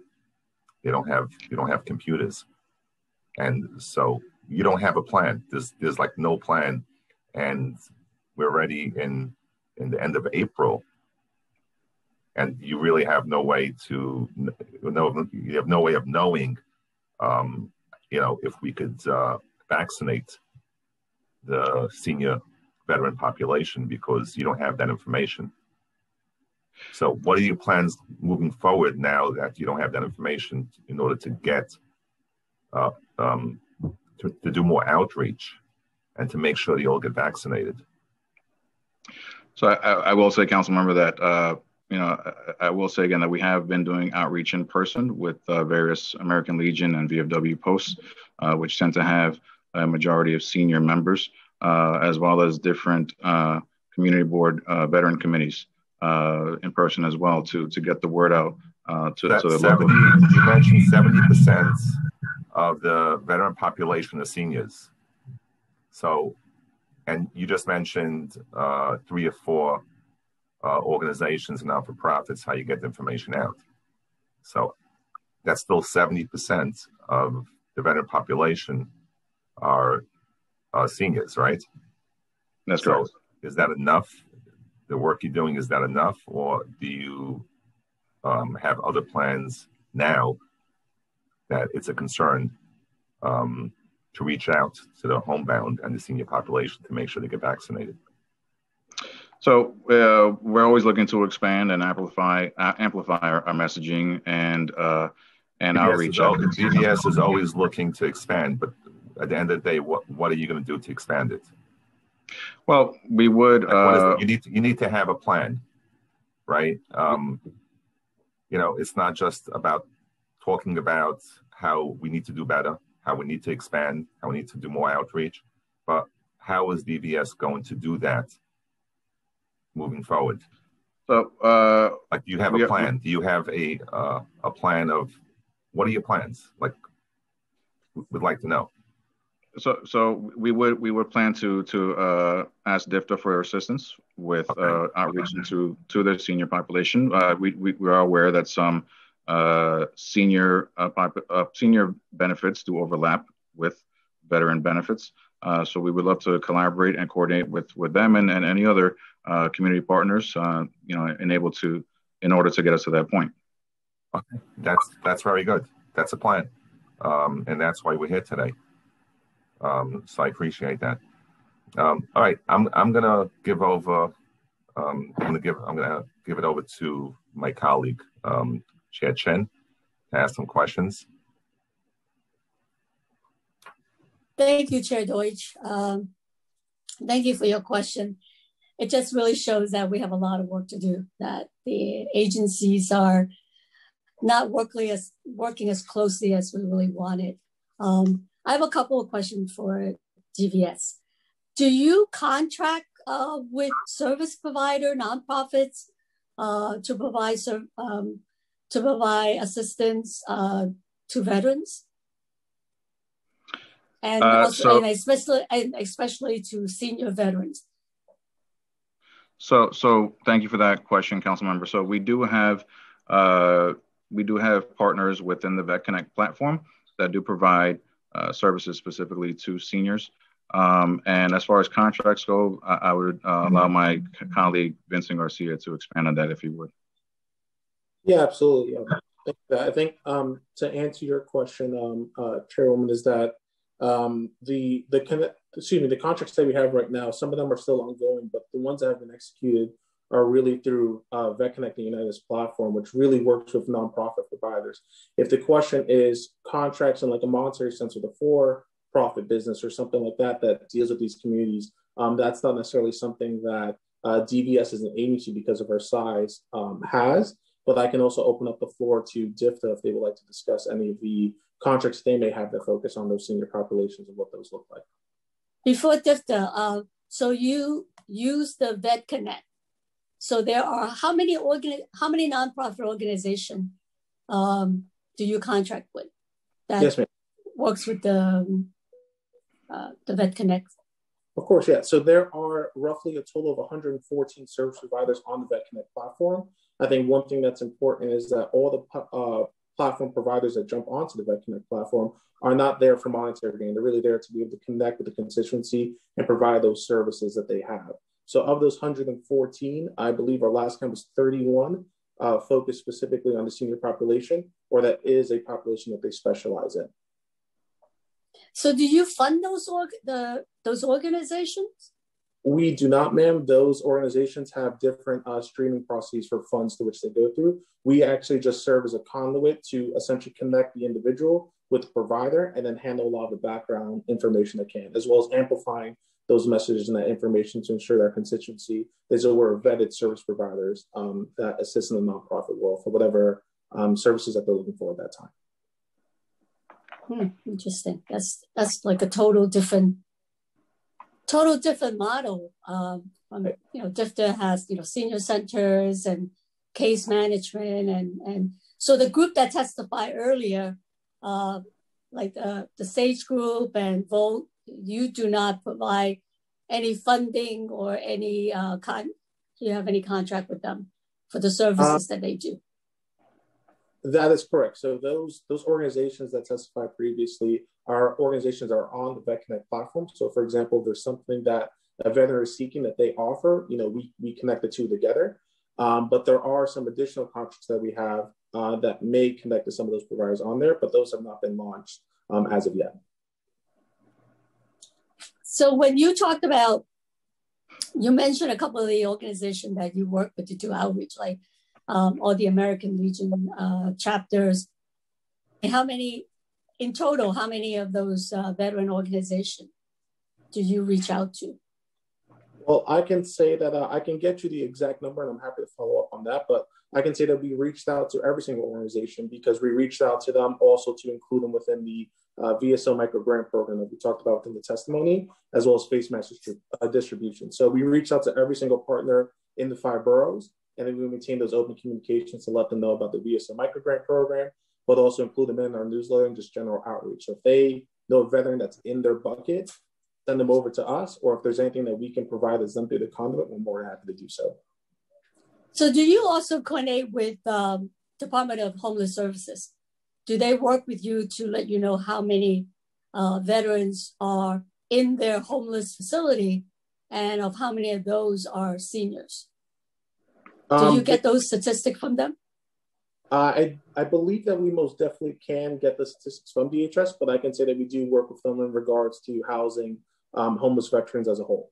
Um, I know that there's some reports to go as well as some uh, internal dialogue whenever we're housing an individual and see what stock is available out there for vacant units and everything else like that. So there is a communication and and a relationship there between the two agencies. But do, do they actively or do you actively get that information from them in terms of like the homeless, you know, homeless veterans um, that are in their shelter system and how many of them are seniors? Do you get that report for them from them? Um, we should. I can circle back to make sure, and specifically for the senior bucket in that population. I know there are reports uh, that are provided to us that we're able to check on a regular basis. I can circle back with you, ma'am, about the the senior veteran, veteran population as a whole. What I would also like to add is that EO uh, Executive Order 65 that we spoke about within the testimony um, and its parameters may actually be able to alleviate a lot of those concerns because it will require that interagency uh, connection in providing that data directly to DVS. Mhm. Yeah, well, and- I mean, and- that's what's yeah, that's what's important. So that's how because the interagency connection and working together is so important because if they let you know um, in terms of the the number of veterans that are, I mean, these are the veterans that you can help directly uh, to make sure working together with DHS get them housing or the support services that they need, or, to make sure that DHS is taking care of these uh, homeless veterans, right? Uh, I think that's why the the uh, interconnection, working together, is, so important. And the same thing with DFTA. Um, the I guess the question uh, to you, Assistant Commissioner, is that like just to have all these providers, right, for our senior centers, for our home delivered meal program, case management. Are we collecting data uh, in terms of our uh, the the consumers are veteran? Are we collecting that data? Uh, um, we are pleased to say that about 5% of our population are veterans, and those are the ones who identify as veterans because we do ask for information, but if they do not identify, then we wouldn't have that information. But for the ones who did, there's about 5% of our older adults who participated in, in DFTA services. So how do this group of senior veterans, how do they find out about services that the Department of Veteran Service provide? I mean, in terms of the two agency working together, I mean, you got the number, uh, you know who these senior uh, veterans are. So how do you connect them to Department of Veteran Services so they know that they can access all these benefits that they're entitled to? As I mentioned earlier, Or how is yeah? as I mentioned earlier, um, during this pandemic, and especially since trying to build this on this relationship, we have had our providers meet with the commissioner of DVS to tell them about our services, to tell them where to get resources so that in their own neighborhood where there are veterans who have a need, our providers will know where to reach and how to reach out to access these services. Yeah, so we, I guess, as the uh, Chair Doi talked about, we would like to know in terms of how many referrals are provided. Like the question that Chair Deutsch asked about homeless, I mean, a homebound veteran. Uh, I think we should be able to get that number from the home delivered meal program, for example, right? That's the program that service uh, homebound seniors. And within that population, if we can identify um, the number of veterans I mean, that information uh, can be given to uh, DVS uh, to do the the vaccine or provide other services that they need. I mean, If the I- data if have I this may- valuable information. Yeah. And if I may, council member, um, you know, I appreciate the question. Of course, we, we always try to gather information for as many veterans as we can. Uh, but, you know, I, I would be remiss if I didn't bring up, bring up an issue is that um, there are many veterans out there that do not uh, identify as veterans or, or do not wish to identify as veterans um, for, for a number of different reasons. Um, they may not know that they qualify as a veteran. Um, some with uh, less than honorable discharges may not feel that they're entitled to veteran benefits. Those that were um, discharged for for unfavorable uh, characterizations uh, may not feel that, that they're entitled to that. So uh, it is an issue um, that, that that that we are aware of, and, and that's one of the main of uh, focus of this community survey is to really try to inform the veteran community that there are services available to them, uh, regardless of length of service, uh, service era, discharge characterization, any, any demographic uh, that a veteran falls under in the city of New York, that there are services available to them. So that is something that, that we are actively uh, working on um, getting, getting to the crux of. So does the providers, I mean, like, does does your provider know that? I mean, are they like information like that that's that's given out so people know that it like how would they qualify as a veteran or just as a veteran, um, no matter what, that these services are available? Because DFTA also has a very uh, large caregiver program. So if the veteran might not want to identify themselves, but their family members or their um, the people who you know take care of them, that information is also valuable in terms of getting the the caregivers uh, to understand what services are available um, to veterans.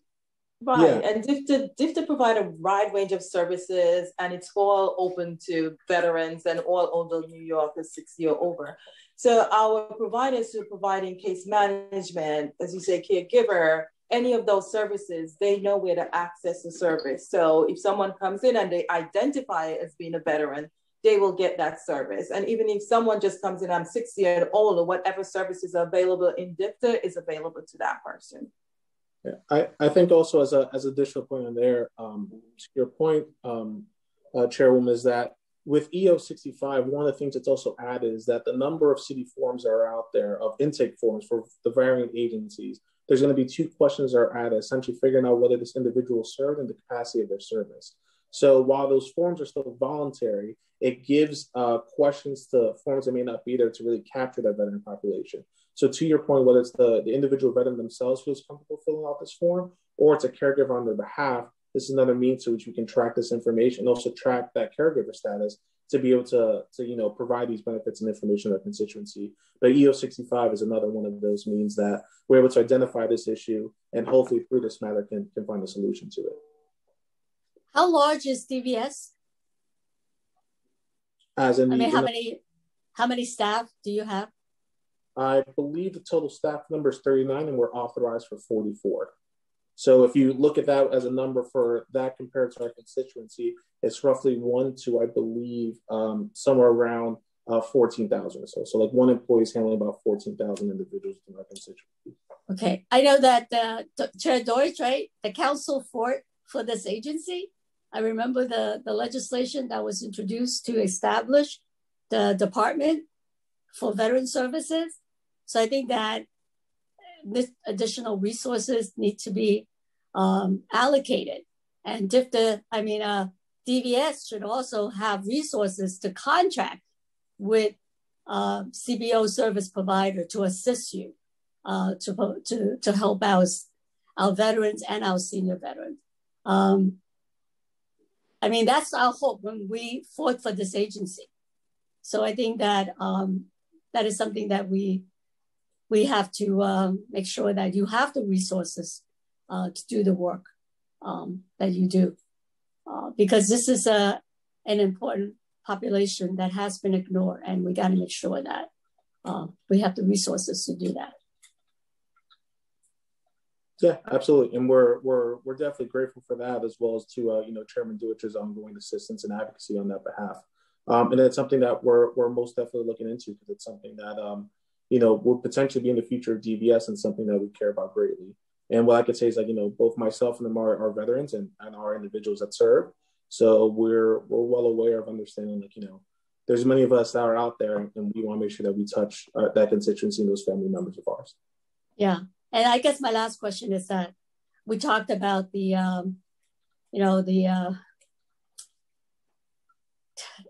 uh, digital divide and then uh, the lack of technology um, for the veterans and for the senior. So going forward, how how can uh, DVS and DFTA work together to make sure that senior senior veterans uh, have access to computers and training so that they can take advantage of all the programs that are online um, that providers uh, like senior centers are providing or to be able to sign up for programs and benefits. So are you guys pushing for, um, you know, tablets for um, seniors and, and Wi-Fi or broadband? I'm happy to, to, I'm happy to hear DFTA's, uh, you know, uh, points on this, but, uh, you know, we do have uh, access for any veteran or the family member into the Vet Connect platform through telephone as well. Um, so they, they will receive the same services uh, as if they uh, applied online for an assistance request. But helping see, but helping like the the veterans, especially the seniors, like to get the equipment, you know, to have to be able to to have a, a, a tablet, an iPad that they can go online and and really participate in a lot of the services that DFTA provide um, right? The, the Senior Center, they've been doing, providing a lot of great virtual program, exercise program, lectures. So how are the two agencies coordinating to make sure that our senior veterans also can take advantage of this opportunity? Sure. Uh, I'd like to open the floor to, to DFTA if they want to uh, elaborate on that. Um, thank you for that question. Um, so as you said that we have a lot of program online and we have been working on getting equipment. Equipment has been one of the largest challenges, whether it's it's iPads or phone or stuff. Our providers have been really innovative in trying to make sure that there are programs that are available both through the iPad and both on the phone and it's something that we have not given up. We're pursuing all avenue to be able to acquire um, iPads for or other equipment for our seniors. Um, we uh, we have a few things in the work that I can't really um, speak about right now. As soon as we do, we will let you know our plan. But I just want you to know that it's something that we discuss on a daily basis. It's something that we also reach out and, trying to find the resources to be able to do this. Well, I mean, we just want to make sure that the, both agencies are, are working together on that to make sure that our, you know, older veterans uh, get the services that they need. Uh, and finally, I think that with uh, besides the uh, iPads and uh, and broadband, um, I just think that in this budget process that um, that DVS should talk with Chair Deutsch to make sure that you have adequate funding. And we're working together with uh, DFTA on that. And recently the mayor announced, announced a community care plan. I think within that plan, we have to make sure that our older veterans are included in that plan because we're talking about expanding uh, more senior centers and, and more NORC program. And finally, uh, the question to DFTA. When is our senior center going to be reopening safely? when? When? There's a lot of seniors, and I'm sure veteran seniors um, are looking, you know, are asking us that question.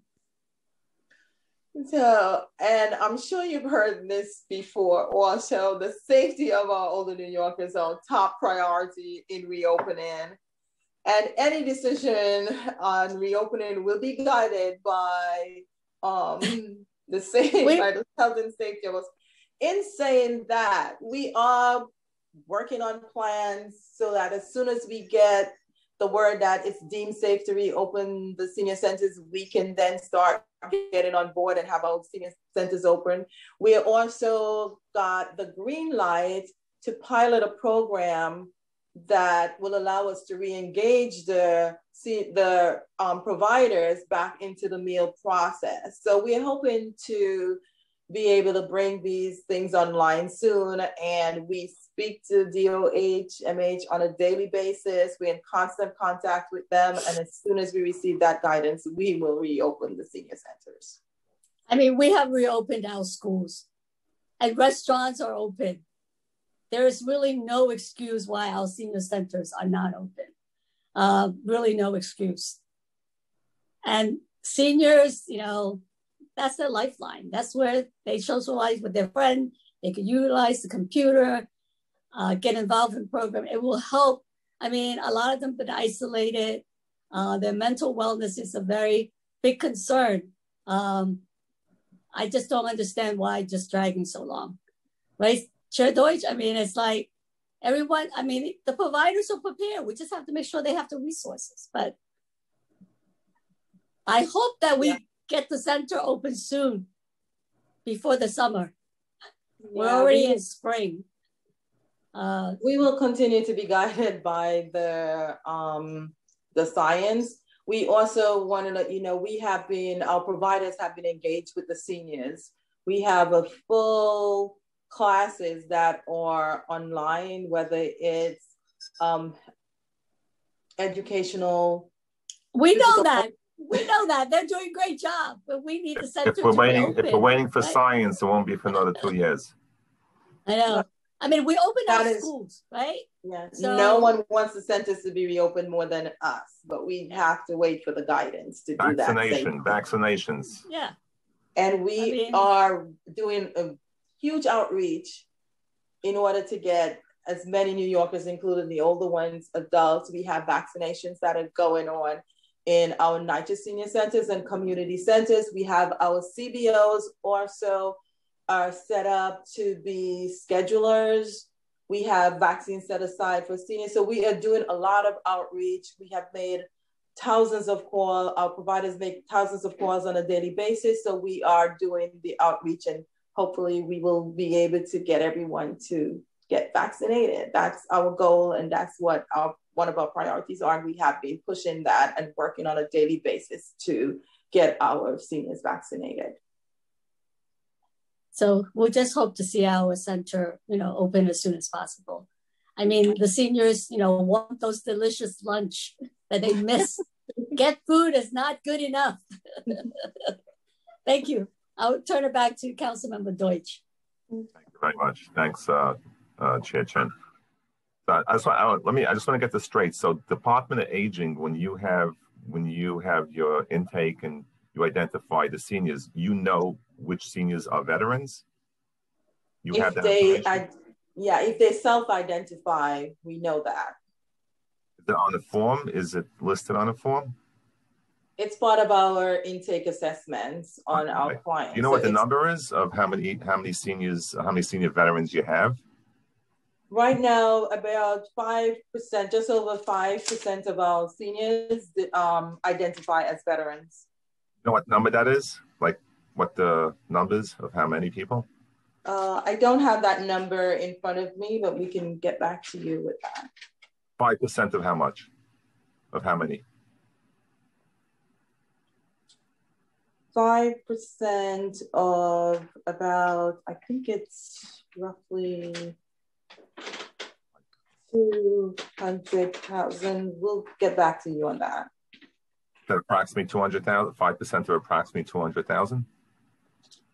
I don't have that number in front of me, so I don't want to commit to that. So we'll get back to you on the number and the percentage, but it's 5% of the percentage. 5% of whatever numbers you have. Now, does yeah. does uh, DVS have those have those numbers?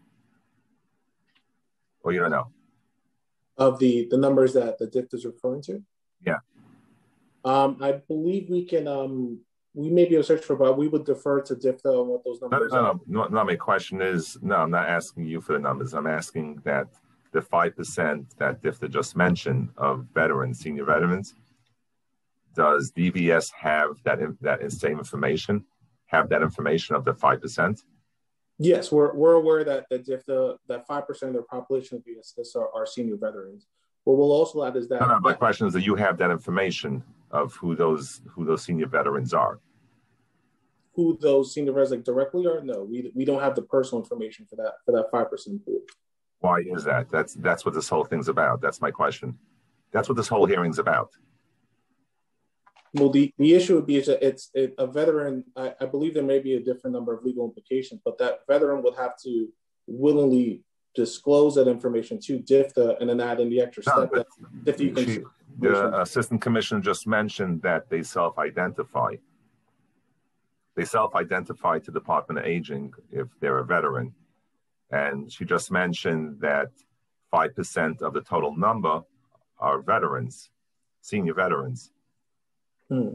So my question to you is, do you have those same, those names who uh, DFTA just mentioned the 5%? Do does, does DVS have that, those people in the database as part of your senior veterans? No, they would, there Why may not? be That's, but I, I, think to, to answer your question, Chair, no, you can tell me it's a legal issue. It's five years into um, more than five years since DFTA was uh, um, the agency was implemented. Right, it doesn't take five years to ask a legal question. Sure, but I, I would I would not want to steer you away, Councilman, provide something that would be incorrect. So I, no, I can I understand what that may be and, and why that rationale, that reasoning is. But I would guess that despite the fact that that veteran is providing the information to DFTA, so for example, if I said, "Hey DFTA, you can have my information," I think it would be an extra step for me to then say, as that as a senior veteran, "Hey DFTA, you can now give this information to DVS for another city agency," and I think that is where the where the issue may lie. Um, so let us talk about the May the mayor's um, the Mayor De Blasio issued an executive order, uh, executive order number 65 on March 8th, which among other things calls on city agencies to increase outreach to veterans and develop a veteran indicator question on all intake forms. Are you familiar with that? Yes, sir. Now, what happens when the agencies um, you know, increase their outreach to veterans, and uh, and veterans reach out to all these agencies. What happens with that information? That information is then maintained by that respective agency and is provided to DVS, I believe, no later than October 15th of each year. So then, then uh, so all that information comes to DVS. Uh, well, yes, the, the the information will come to DVS. That that data to the level instance, but we'll have to. So if, if all the other agencies are supposed to be doing outreach to develop a uh, a veteran indicator, people to reach out to these agencies, and then that information goes to DVS, right? So why can't DVS get that information from DFTA, the five percent that they have? I mean, shouldn't that be part of this whole um, executive order of what the purpose is of this executive order? Well, I'm, I'm more than happy to, to verify, like, you know, those those intricate data points and circle back with you, Chair. But I, I think once again, what that issue may come about is just that private concern, that second step. You know, if a veteran self identifies to an agency there's still that extra step of saying, hey, you can now share my personal information with another agency or throughout the city government experience. And I think that I would need to circle back on, on what those concerns may be and then obviously provide that to you in the council. Okay. Can you also uh, provide it to Chair Chin when you have that information? Absolutely. This way, this way, also, I just got uh, numbers from uh, committee staff that in uh, FY 2020, there's 243,000 uh, senior particip- senior participating in DFTA service. And then in FY uh, 21 is uh, 181. So you're talking about 9,000 seniors, uh, senior vet this year and 12,000 last year. So those are the the information that DFTA could be given to DVS for you to do outreach to them. uh, to see if they got all the, the services that they're entitled to. Yeah, I, that's why, uh, um, Chair Chin, that's why I always say one agency doesn't know what the other agency is doing.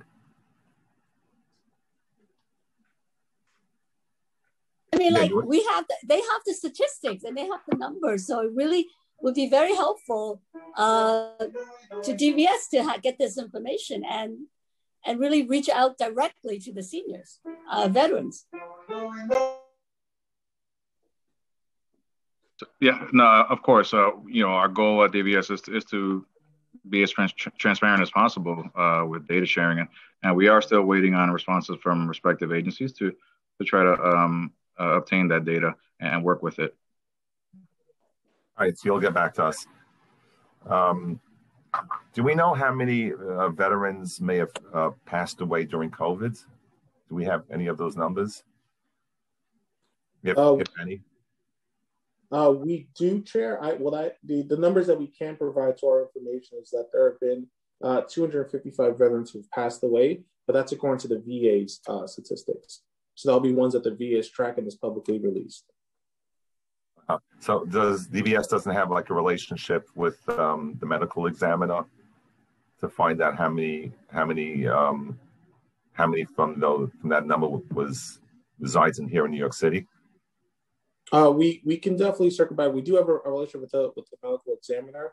If I recall correctly, on death certificates themselves, usually it's box 15 is what signifies whether an individual served in the armed forces, and obviously a you know a survivor will have to check that box off for the deceased.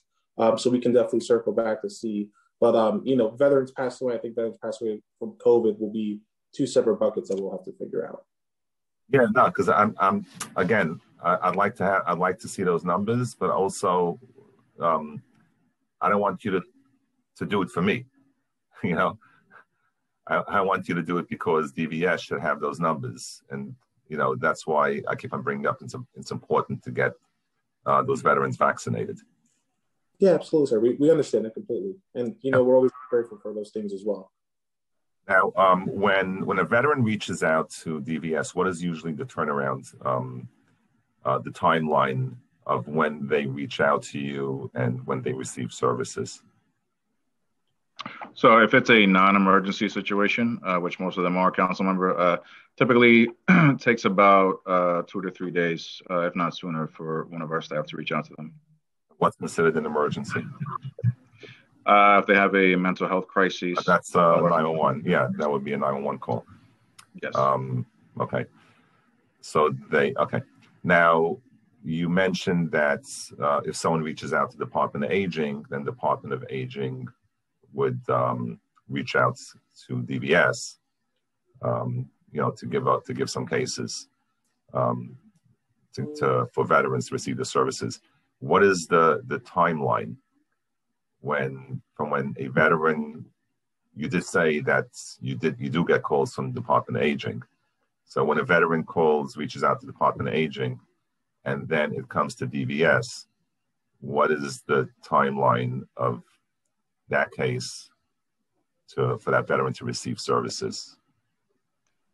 So, so again, Councilman, if it's not a uh, an emergency situation, No, I'm uh, talking about emergency is 911. Okay. So typically, you know, no more than two to three days, if not sooner. How do you know that? How do we know that? Yeah, how you know it's two, three days. So if someone reaches out, if a veteran reaches out to DVS, I mean to to Department of Aging, it could sit by Department of Aging for two, three days. Oh, you're saying before they referred it to DVS? Yeah, correct. Okay, that that I don't know, Councilmember. Uh, I would I would uh, defer to DFTA if they have any information No, on no. that. So I no, I don't want to defer to DFTA because I want it's DVS's job to make sure that if someone does reach out to another agency and then it gets referred to the department to DVS, so it's not DFTA's job. It would be DVS's job to make sure that that those services get expedited and that that veteran doesn't have to wait one week, two weeks, one month. Because if if there is uh, um, a a long turnaround uh, for that veteran to receive services, then there has to be a better system uh, between DVS and other agencies of when they get referrals, when referrals are sent over to DVS. So we strive to, uh, absolutely, Councilman. We strive to address our, uh, you know, our assistance requests as soon as we receive them. Um, you know, it, it could be that uh, a phone call is made right, right after the referral is made. Um, yeah, so but- unfortunately, but- yeah, but shouldn't we know how long it takes? Like if you receive an email from from DFTA, um, if you would just ask, okay, when did you get this? And then as DVS, as an agency, your job is to make life easier for the veterans, right? So you need to think out of the box, right? Not just when you receive that information. I'll give you an example. Someone called my office up. Um, they wanted to apply for for SNAP. So my staff comes over to me and says, "We took care of it. Um, they they will be approved in ten days from now." So I asked my staff member, "What are they doing?" Did you ask them what that family is doing for the next ten days? Um, then she told me no. So I said, "Well, let's make the phone call now." Sure enough, there was nothing. They had no food for the next ten days, so we had to provide them uh, from from our own pockets, provide them food for those ten days. Now, if someone reaches out to the Department of Aging and they make a referral to DVS, right? And emergency is 911, but in any other case, you still want to know and analyze and, and it's it's good information to know of how long that has been sitting with Department of Aging or any other agency. When did that get to you? And then your response is usually you said two three days. So that information you have already that if, if so, once you get that information it's two to three days. But we need to make sure that if there's an issue of that information getting to dvs how can we do better to make sure that uh, a veteran doesn't have to wait a week or two weeks depending on how long that information was sitting by another agency uh, such as department of aging Okay, uh, yeah, I understand your concern now, council member, and and that's something that uh, you know we would certainly like to to capture uh, moving forward uh, because uh, you know it is it can get discouraging for a veteran when they're reaching out and they're kind of getting bounced around. So I completely understand your concern, and um, that's something that we can work on moving forward. Um, so I think we're going to end it right here unless uh, Chair Chin has any other questions. No. So I, I want to thank um, uh, DVS. I want to thank Vincent uh, Amari and uh. I hope I got your name right. Um, uh, for testifying, for being here today. So I want to thank you all for all the work you do on behalf of the veterans and our seniors. And I'm going to give Margaret uh, opportunity to thank you as well. I'm sure she wants to thank everyone before we hear from our next panel. Yeah, just want to yeah thank the all of you for testifying, and I hope uh, to build stronger relationship between DFTA and uh, DVS to make sure that our senior and especially our veteran seniors are getting the services they need. So thank you. Thank you very much. Great, thank you. I will now call on council members. Um, we're going to open it up for a brief question and answer period. So if, I'm going to call on council members who have their hand raised and feature in Zoom. Um, if you have any, you know, if council members have questions for the administration, now would be the time to raise your hand in Zoom. Um, um, as don't see any hands raised. All right. So we'll move on to our, our last panel. Um, we will now turn to Ryan Graham, Leo Asen, Ruth Stein, Ryan Foley, and Margaret Gimbaro. I'm sorry if I said your last name wrong. Um, after I call your name, a member of our staff will unmute you. Again, there may be a few seconds of delay before you are unmuted, and we thank you in advance for your patience.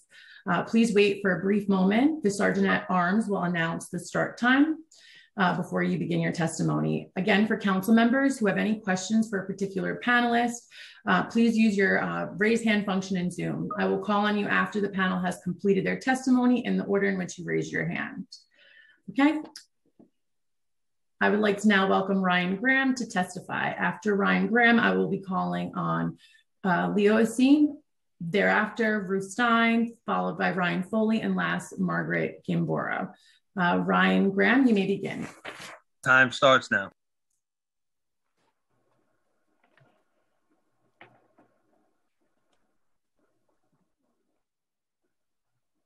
Okay, I think Ryan is not on this call. Um, we may come back to him if he pops up back again. So we'll just move on to our next panelist, Leo Asen. Are you available on here? Yes, he is. Okay. Time starts now. Oh, good. Good afternoon, Chairs Deutsch and Chin and members of the committees on veterans and aging. My name is Leo Asen. I am a volunteer and president of AARP New York, representing 750,000 members of the 50 plus community in New York City. I'm also a veteran. Thank you for providing me with the opportunity to testify today. AARP New York fully supports Intro 1616 in order to improve reporting on senior veterans as well as reporting on social services and affordable housing programs for veterans. However, for many veterans, it can be hard to find the right information on benefits and services earned through serving in the military, not to mention any other benefits depending on socioeconomic status. We know accessing benefits is challenging across the board. Having the Department of Veterans Services collect data on inquiries by veterans will help the city understand the actual needs and demand for critical services and help connect veterans to the appropriate agencies who deliver them. It's particularly important that we make every effort to meet the needs of senior veterans right now when older New Yorkers have disproportionately suffered the effects of COVID 19. As the city begins to recover, senior services are crucial to address issues that have been exacerbated by the pandemic, especially with regards to food insecurity, social isolation, healthcare, and other related social services. For these reasons and more, AARP New York fully supports Intro 1616 in order to improve reporting on senior veterans and reporting on social services and affordable housing programs for veterans. Thank you for your time and for the opportunity to testify today. Thank you so much. Uh, Ruth Stein, you may begin. Time starts now.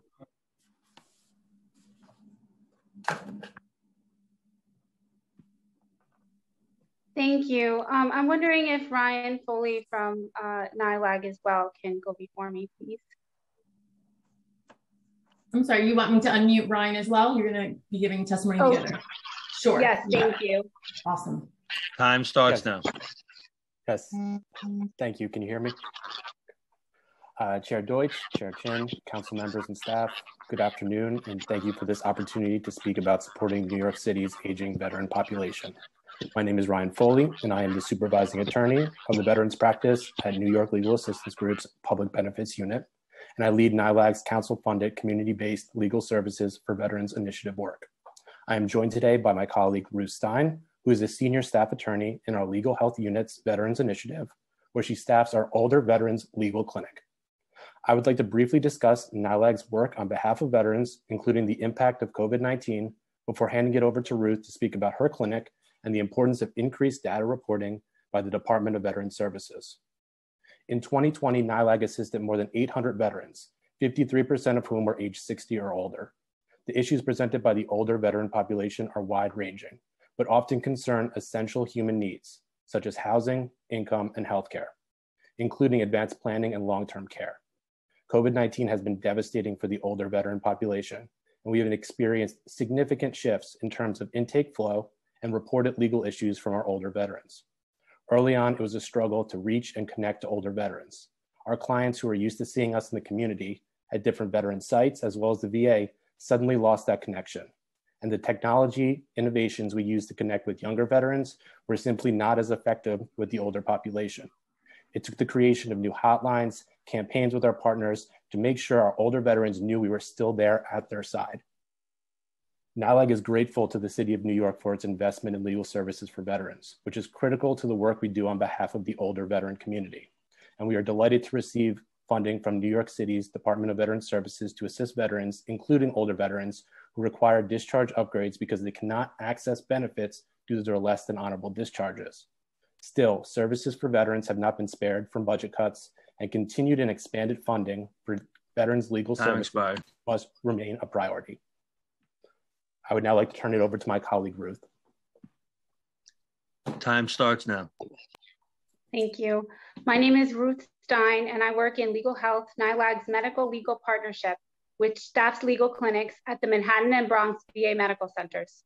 Due to the instability of private funding resources, we were forced to close our older veterans clinic in July 2019 and have only recently been able to reopen.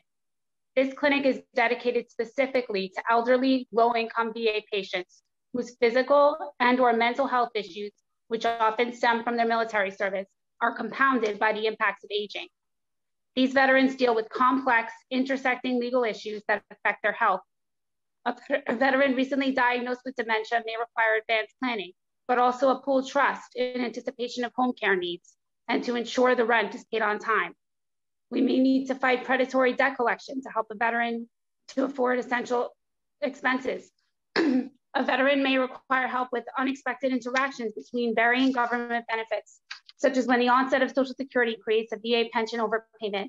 Our older veterans legal clinic works at these intersections in VA benefits, Social Security, housing, family law, consumer issues, and advanced planning, utilizing the expertise of NYLAG's 300 plus attorneys, paralegals, and financial counselors to comprehensively address veterans' civil legal needs.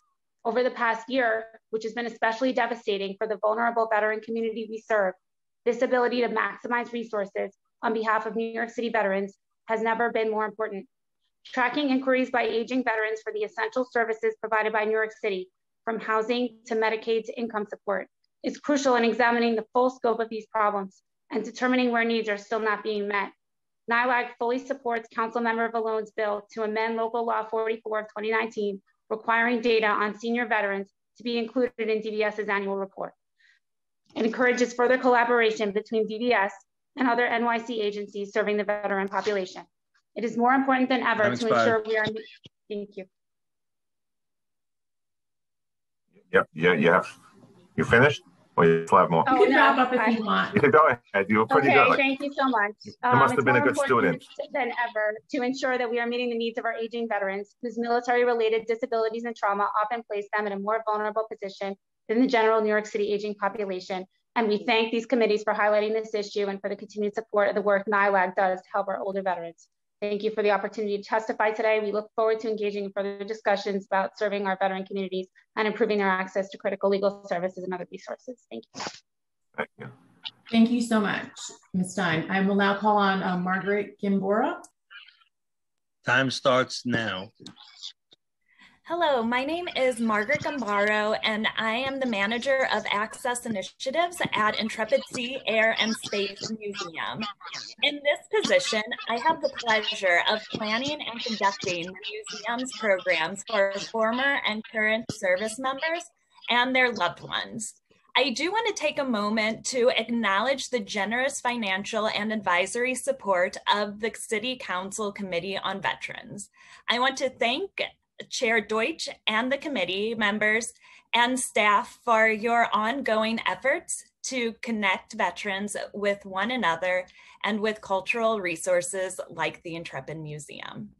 At the Intrepid Museum, our mission is to promote awareness and understanding of history, science, and service in order to honor our heroes, educate the public, and inspire our youth. The museum has a long history of supporting aging veterans through volunteer services and supporting Intrepid's former crew member association. In 2015, we began military family programs, which not only invited service members to bring their children to the museum, but also older veterans to bring their grandchildren and other family members. Around the same time, we began Intrepid After Hours, which is for current and former server, former service members only. The program brings together service members of different branches, ranks, and generation in ways they may not otherwise. We acknowledge that many uh, aging veterans are not as lucky to have loved ones bring them to Intrepid Museum or be able to make the trip. With that in mind, we began Vet Video Chats. Through Vet Video Chat, we virtually connect with veterans facilities, including retirement homes all over the country, and bring the museum to them. At the beginning of the pandemic, we knew it was important for the Intrepid, for the museum, Time expired. our veterans programs. I have two more sentences. Is that okay? Sure, go ahead. Okay, cool. Um, it was important for the museum to keep our veterans programs going. We immediately transitioned Intrepid After Hours and Intrepid Book Club to a virtual format. The Intrepid Museum continues to give aging veterans a place to connect with one another and service members of other generations, providing a platform to come together, learn about something new, and share their stories. Thank you. Five sentences, Margaret.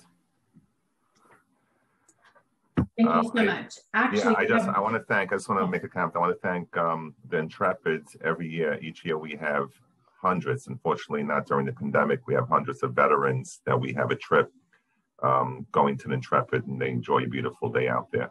So I want to give a shout out to Intrepids, and if you haven't been there, you should really uh, um, visit. Thank you, Chair George. We have a last panelist, Steve Palmer. Time Steve, can you begin? Yeah, okay. Good afternoon, good afternoon, Chair Dutch and Chair Chang and fellow City Council members. Thank you for giving me the opportunity to testify. My name is Steve Palmer. I'm 59 years old. I'm a Marine Corps veteran. I want to speak to you today about the challenges I experienced after leaving active duty and how I got the help I needed. I needed to live to, to live in New York, nonprofit agency called Project Renew.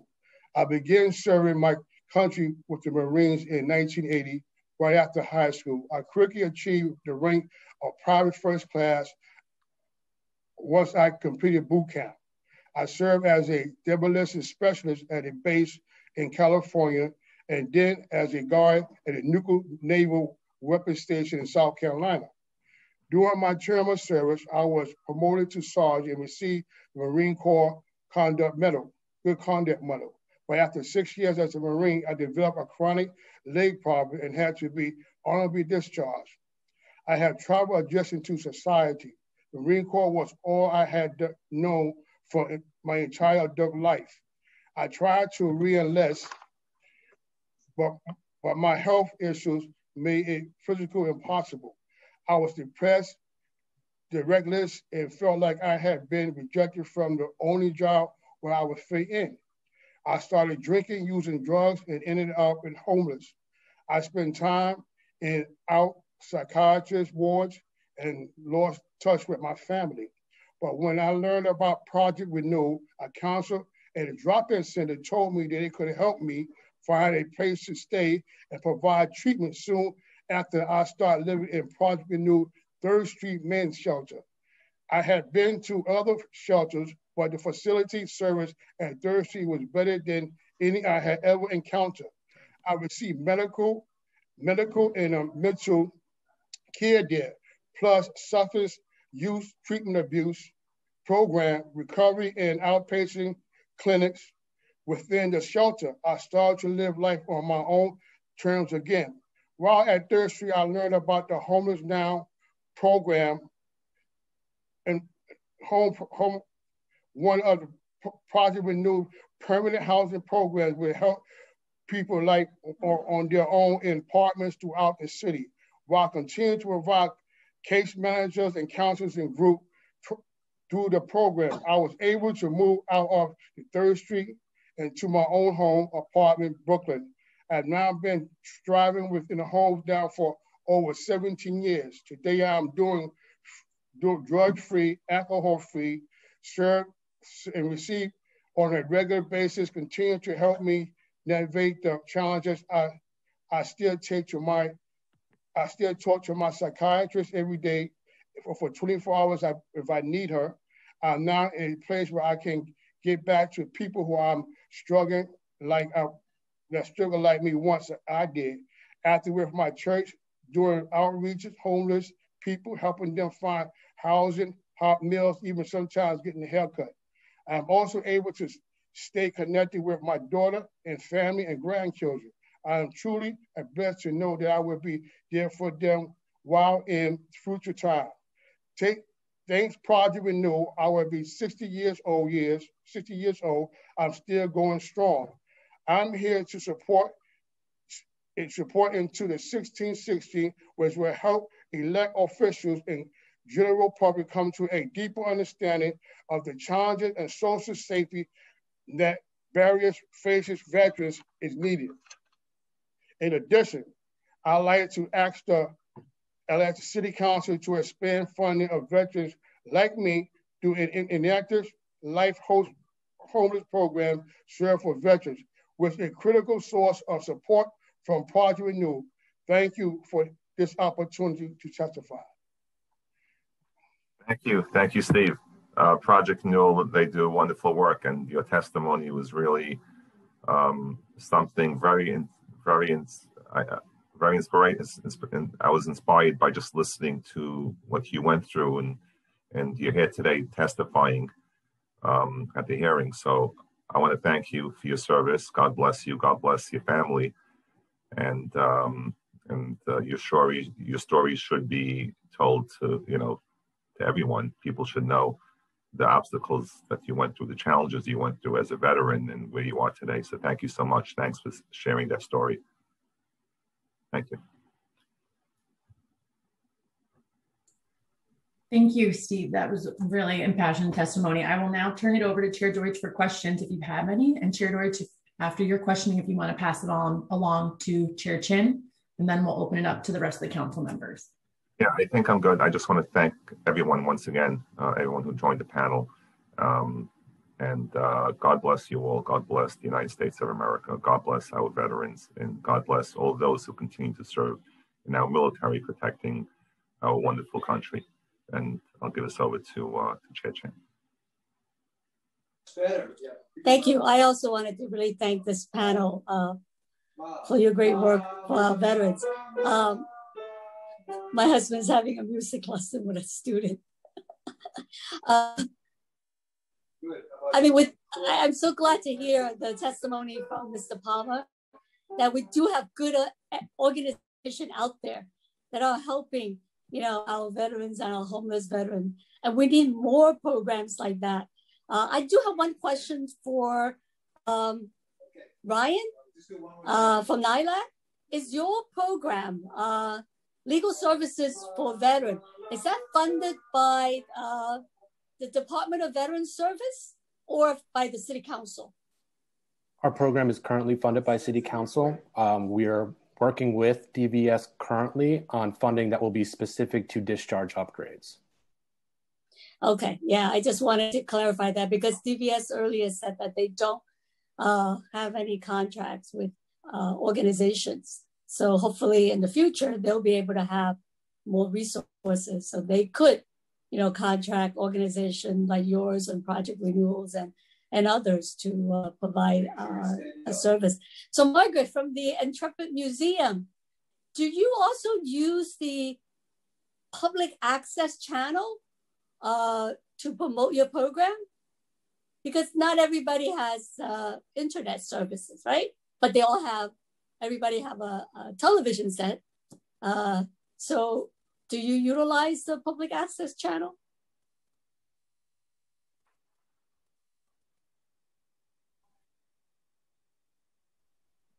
Um, so far, no, we do not. Um, right now, it is just um, online, but luckily, we have just reopened. Um, we are open Thursday through Sunday, and we hope to bring back um, our in person programming as soon as we can.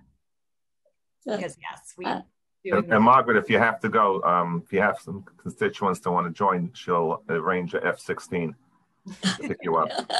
Great. I mean, my grand, my maternal grandfather was a World War II veteran, and uh, hey, we just fought hard to get you know Chinese American veterans recognized um, for their contribution to World War II. So uh, definitely, I'm sure the the local American Legion group would would love to uh, do a visit. So I will uh, contact yeah. you.